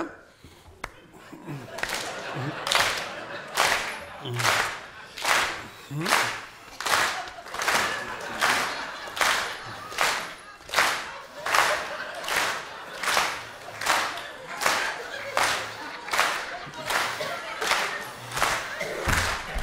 så upp där sen. ja.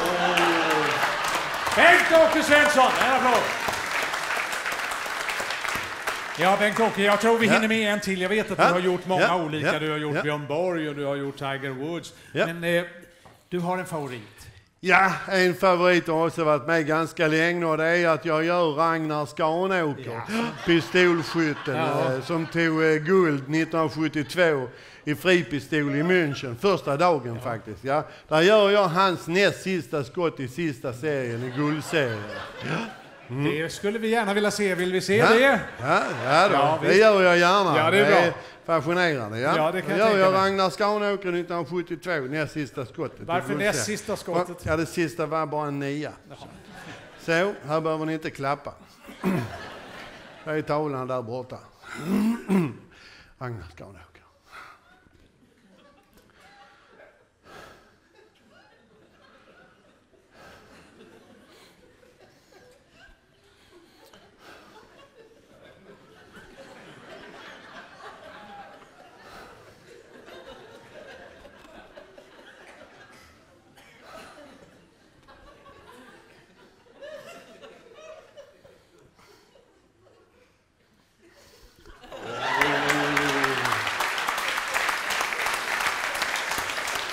Bengt-Åke Svensson. Där, där har jag en liten eh, specialgrej Ja. där för att eh, den, eh, den gör jag även alltså i repris i slow motion. Jaså? Den vill vi gärna se. Om du vill se den? Ja, absolut. Gör samma skott i repris i slow motion då. Ja. Tavlan fortfarande där borta.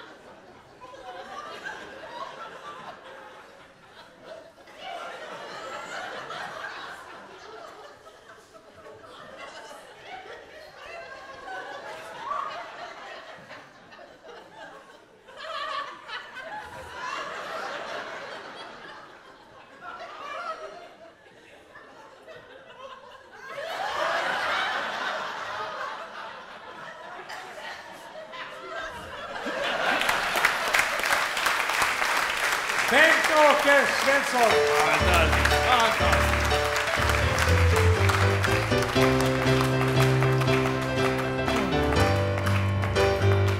Nu tänkte jag skulle köra lite nyare låtar. Jag tänkte köra en härlig låt jag är väldigt förtjust i. Ska vi se här. Jag får lite god stämning sådär.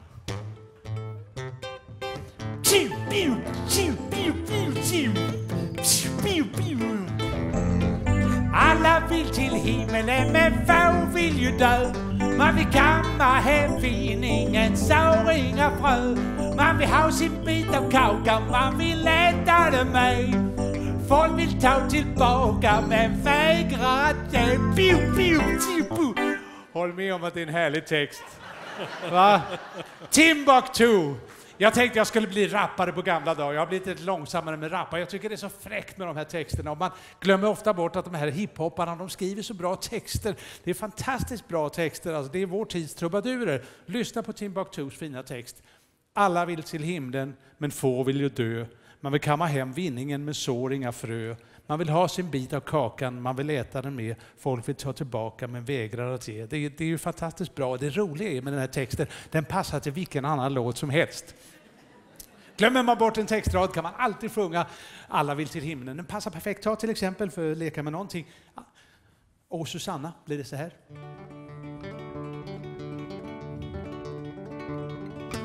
Alla vill till himlen men få vill ju dö. Man vill kamma hem vinningen men sår inga frö. Man vill ha sin bit av kakan, man vill äta den med. Folket tar tillbaka men vägrar att ge. Visst passar perfekta. Ja. Timbuktu till en gammal arbetarsång hade kunnat bli så här.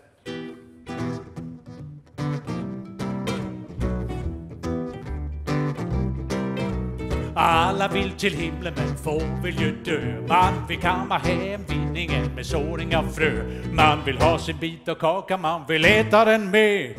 Folk vill ta tillbaka men vägrar att ge. Ge, ge, ge, ge, vägrar att ge.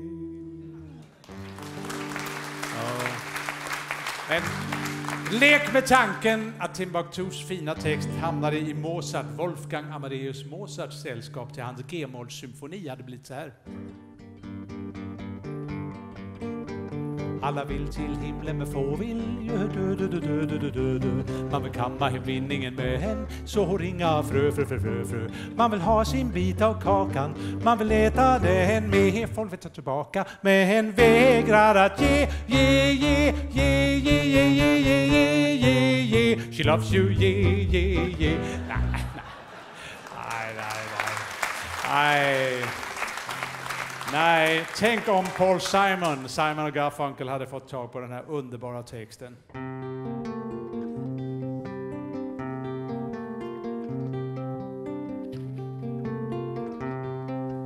Alla vill till himmelen men få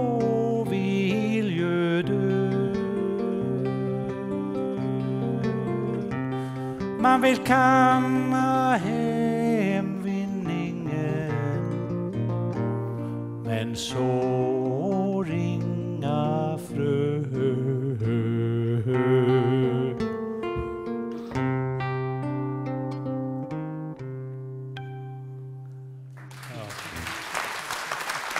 Man, eh, man kan hålla på hela dagen och hela natten med det här, men jag tänkte avsluta det där. Jag läste någonstans i någon tidning att Mikael Wiehe, den härliga bloggaren, skulle börja framträda tillsammans med Timbuktu. Så tänkte jag, hur blir det? Mikael Wiehe kan ju näppeligen rappa, men han skulle kunna sjunga den här fina texten på sitt signifikanta sätt på det här viset.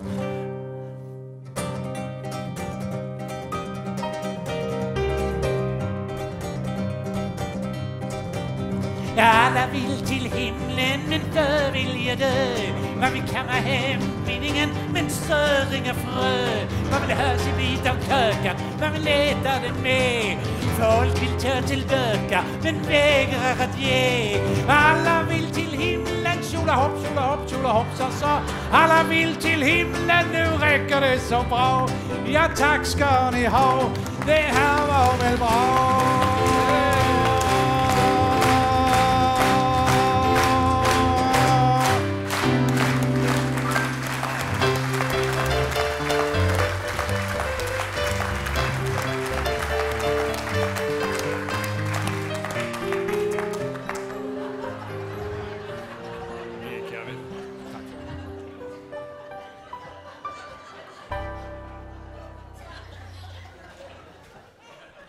God afton.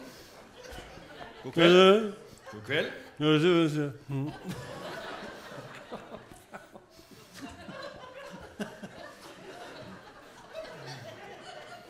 Har min hustru varit här? Er hustru? Madeleine Bracke. Ja, hon har faktiskt varit här. Det är en mycket obehaglig människa. Det låter väl oförskämt att säga så om sin fru. Hon liknar dig. Tack för komplimangen. Det var ingen konstigt klipp min. Sj- Själv kommer jag just tillbaka från en liten nöjestripp. Jag har skjutsat svärmor till stationen.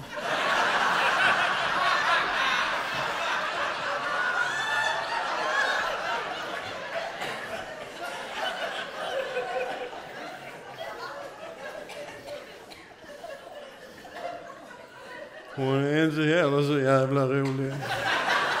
Hon brås på sin dot- dotter. En dag ringde det på dörren hemma och då öppnade jag. Då stod svärmor där utanför med en resväska. Då sa han, kan jag stanna här en vecka? Ja, för fan, sa jag och stängde dörren.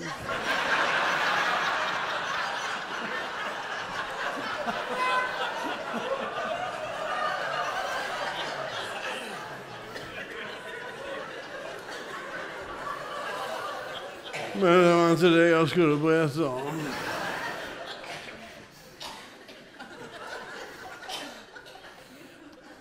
Det är ett litet vindkraftverk. Det går på sprit.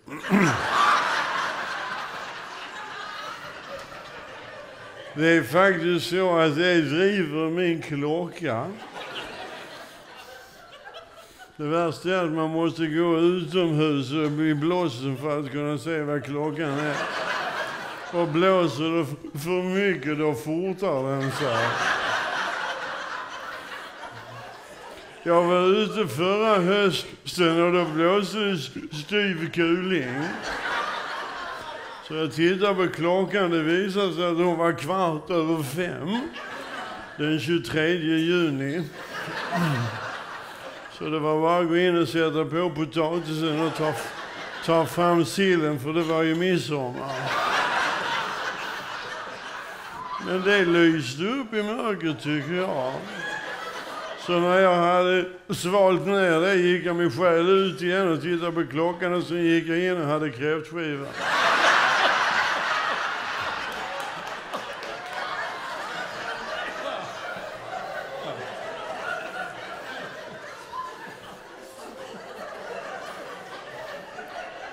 Nästa dag hade vinden ökat li, lite så då fick jag gå in och ge mig själv en 75 i julklapp.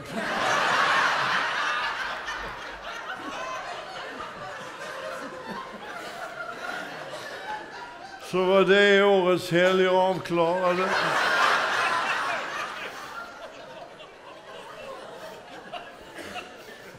Jag vet inte riktigt hur det fungerar. Det finns så många mysterier som man inte riktigt begriper. Saker jag har funderat på länge. Till exempel så här. Om nu simning är så förbannat bra motion, varför är då valar så feta?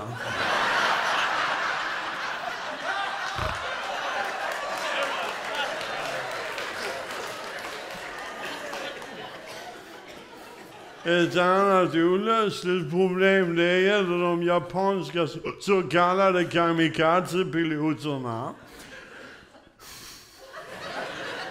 Varför hade de hjälm?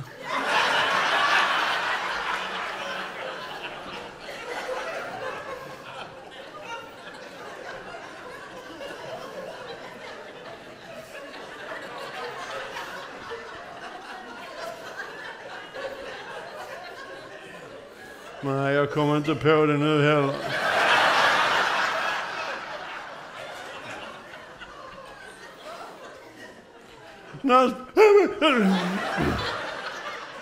Påminner mycket om, om tivoli. Man, och man åkte till Köpenhamn för det var trevligt att åka till Köpenhamn, kom jag. Det var så praktiskt också. Man steg ombord på, på, på, på båten då. Så kunde man beställa in en fiskefilé med remoulade, en Carlsberg Hoff, två snapsar, en kopp kaffe, ett wienerbröd, två konjak. Och, och när man då kom till Köpenhamn, då var man redo. Och så var det ju så oerhört välordnat precis, precis där båten la till. Där låg Köpenhamn.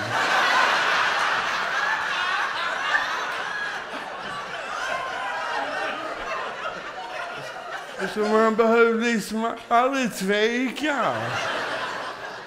Nu sen byggde de en, en, en bro och då ansåg de tydligen en jävel helt utan lokalsinne. Den går ju inte alls dit. Den går ju till, till Dragör eller vad fan det är. Det har jag aldrig begripit. Vilka minnen man har av Köpenhamn. Oj, oj, man gick på tivoli. Det är svårt att säga tivoli. Ibland får jag försöka två gånger innan jag kan säga tivoli. Man gick på tivoli. Mm. Oj, oj, oj. Vilka glassar de hade på tivoli, kommer ihåg det? En sån strut och så i den hade de en glass och ovanpå det la, de vipsegrädde. Och sen allra över satte de i själ en gräddbulle. Ha? Det kallas för amerikaner. Det betyder amerikaner på danska. Mm. Det är den, den godaste glass jag har ätit i hela mitt liv. Fy fan vad jag spydde. Mm. Ja, den gick inte ihop med virvelvinden måste jag säga.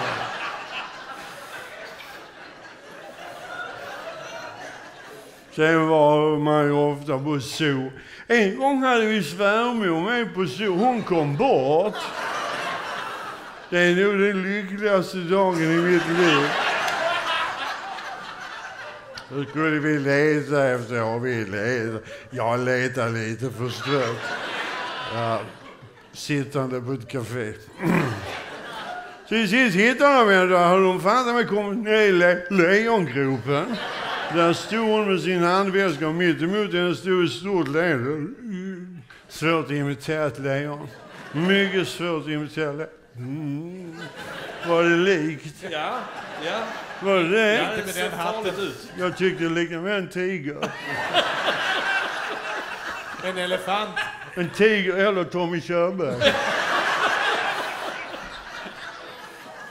Ett, det är ett lejon som ser ut som Tommy Körberg.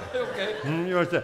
I alla fall så stod alla så, och vad, och vad ska vi göra, vad ska vi göra? Ja, vad fan sa jag, du författar med lejonet förklara sig själv, sa jag.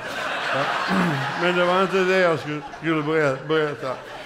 Nej, det var inte alls det jag skulle berätta. Nej, jag skulle berätta att jag, jag precis kommit tillbaka från Var, Varna i Bu- Bu- Bulgarien.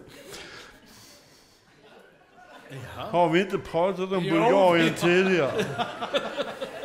I samband med ukulelekonserten. Så var det kanske. Jag kommer inte ihåg. Fy fan vad kort minne de har. Jo, jag var lagledare för ett brottningslag och var vi nere på en brottningsturnering där. Det var mycket intressant. De har en kille där som kan det anatoliska propellergreppet. Känner du till? Jag är en brottningshabitué. Och då skulle vi möta honom. Jag sa till min kille, för jävlen passa dig så du inte hamnar i det anatoliska propellergreppet för du kommer aldrig ur, ur det.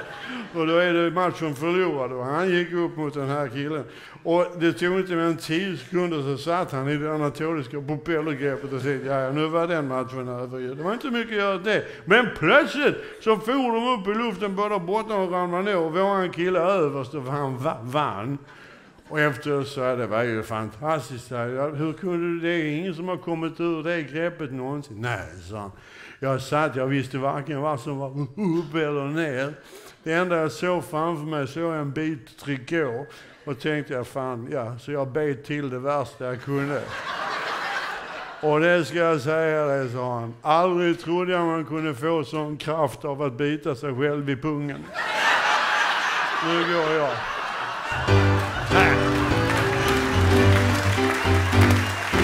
Länge, länge leve sommarsol, semester, skål! Det är då ni alla njuter av er frid. Vi som är semestersabotörer myser när vi kommer och förstör er. Sommar är toppen, våldgästernas tid. Länge, länge leve sommarsol, semester, skål! Det är då ni alla njuter av er frid. Vi som är semestersabotörer myser när vi kommer och förstör det. Sommaren är toppen, bollgästernas tid. Sommaren är toppen, bollgästernas tid. Sommaren är toppen, bollgästernas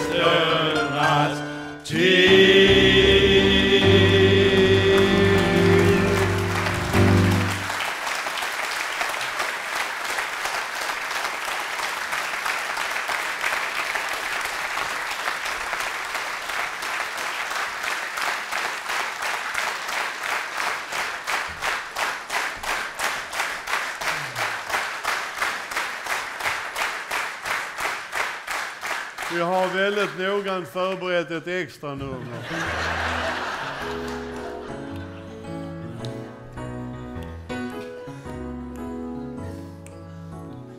Ajöss, moss, moss, nu slipper ni från oss. Här var helt dött, för ni kom aldrig loss. En trist publik, den sämsta vi har haft. Jag är helt slut. Ni sög ut all min kraft. Goodbye, så lång, nu säger vi adjö. Ni sitter som ni håller på att dö. Försök kom loss och vissla lite grann. Nej, är det lönt? Det fixar inte han.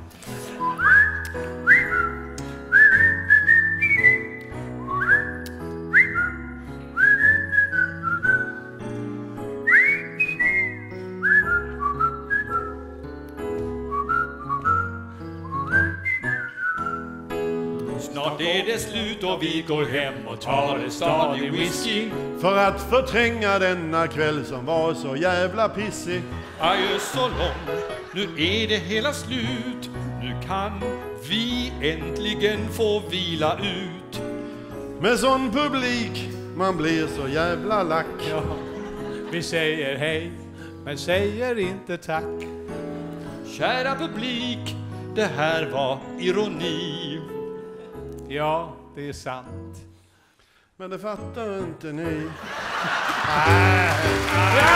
bara skojar! Länge, länge leve sommar, sol, semester. Det är då ni alla njuter av en frid.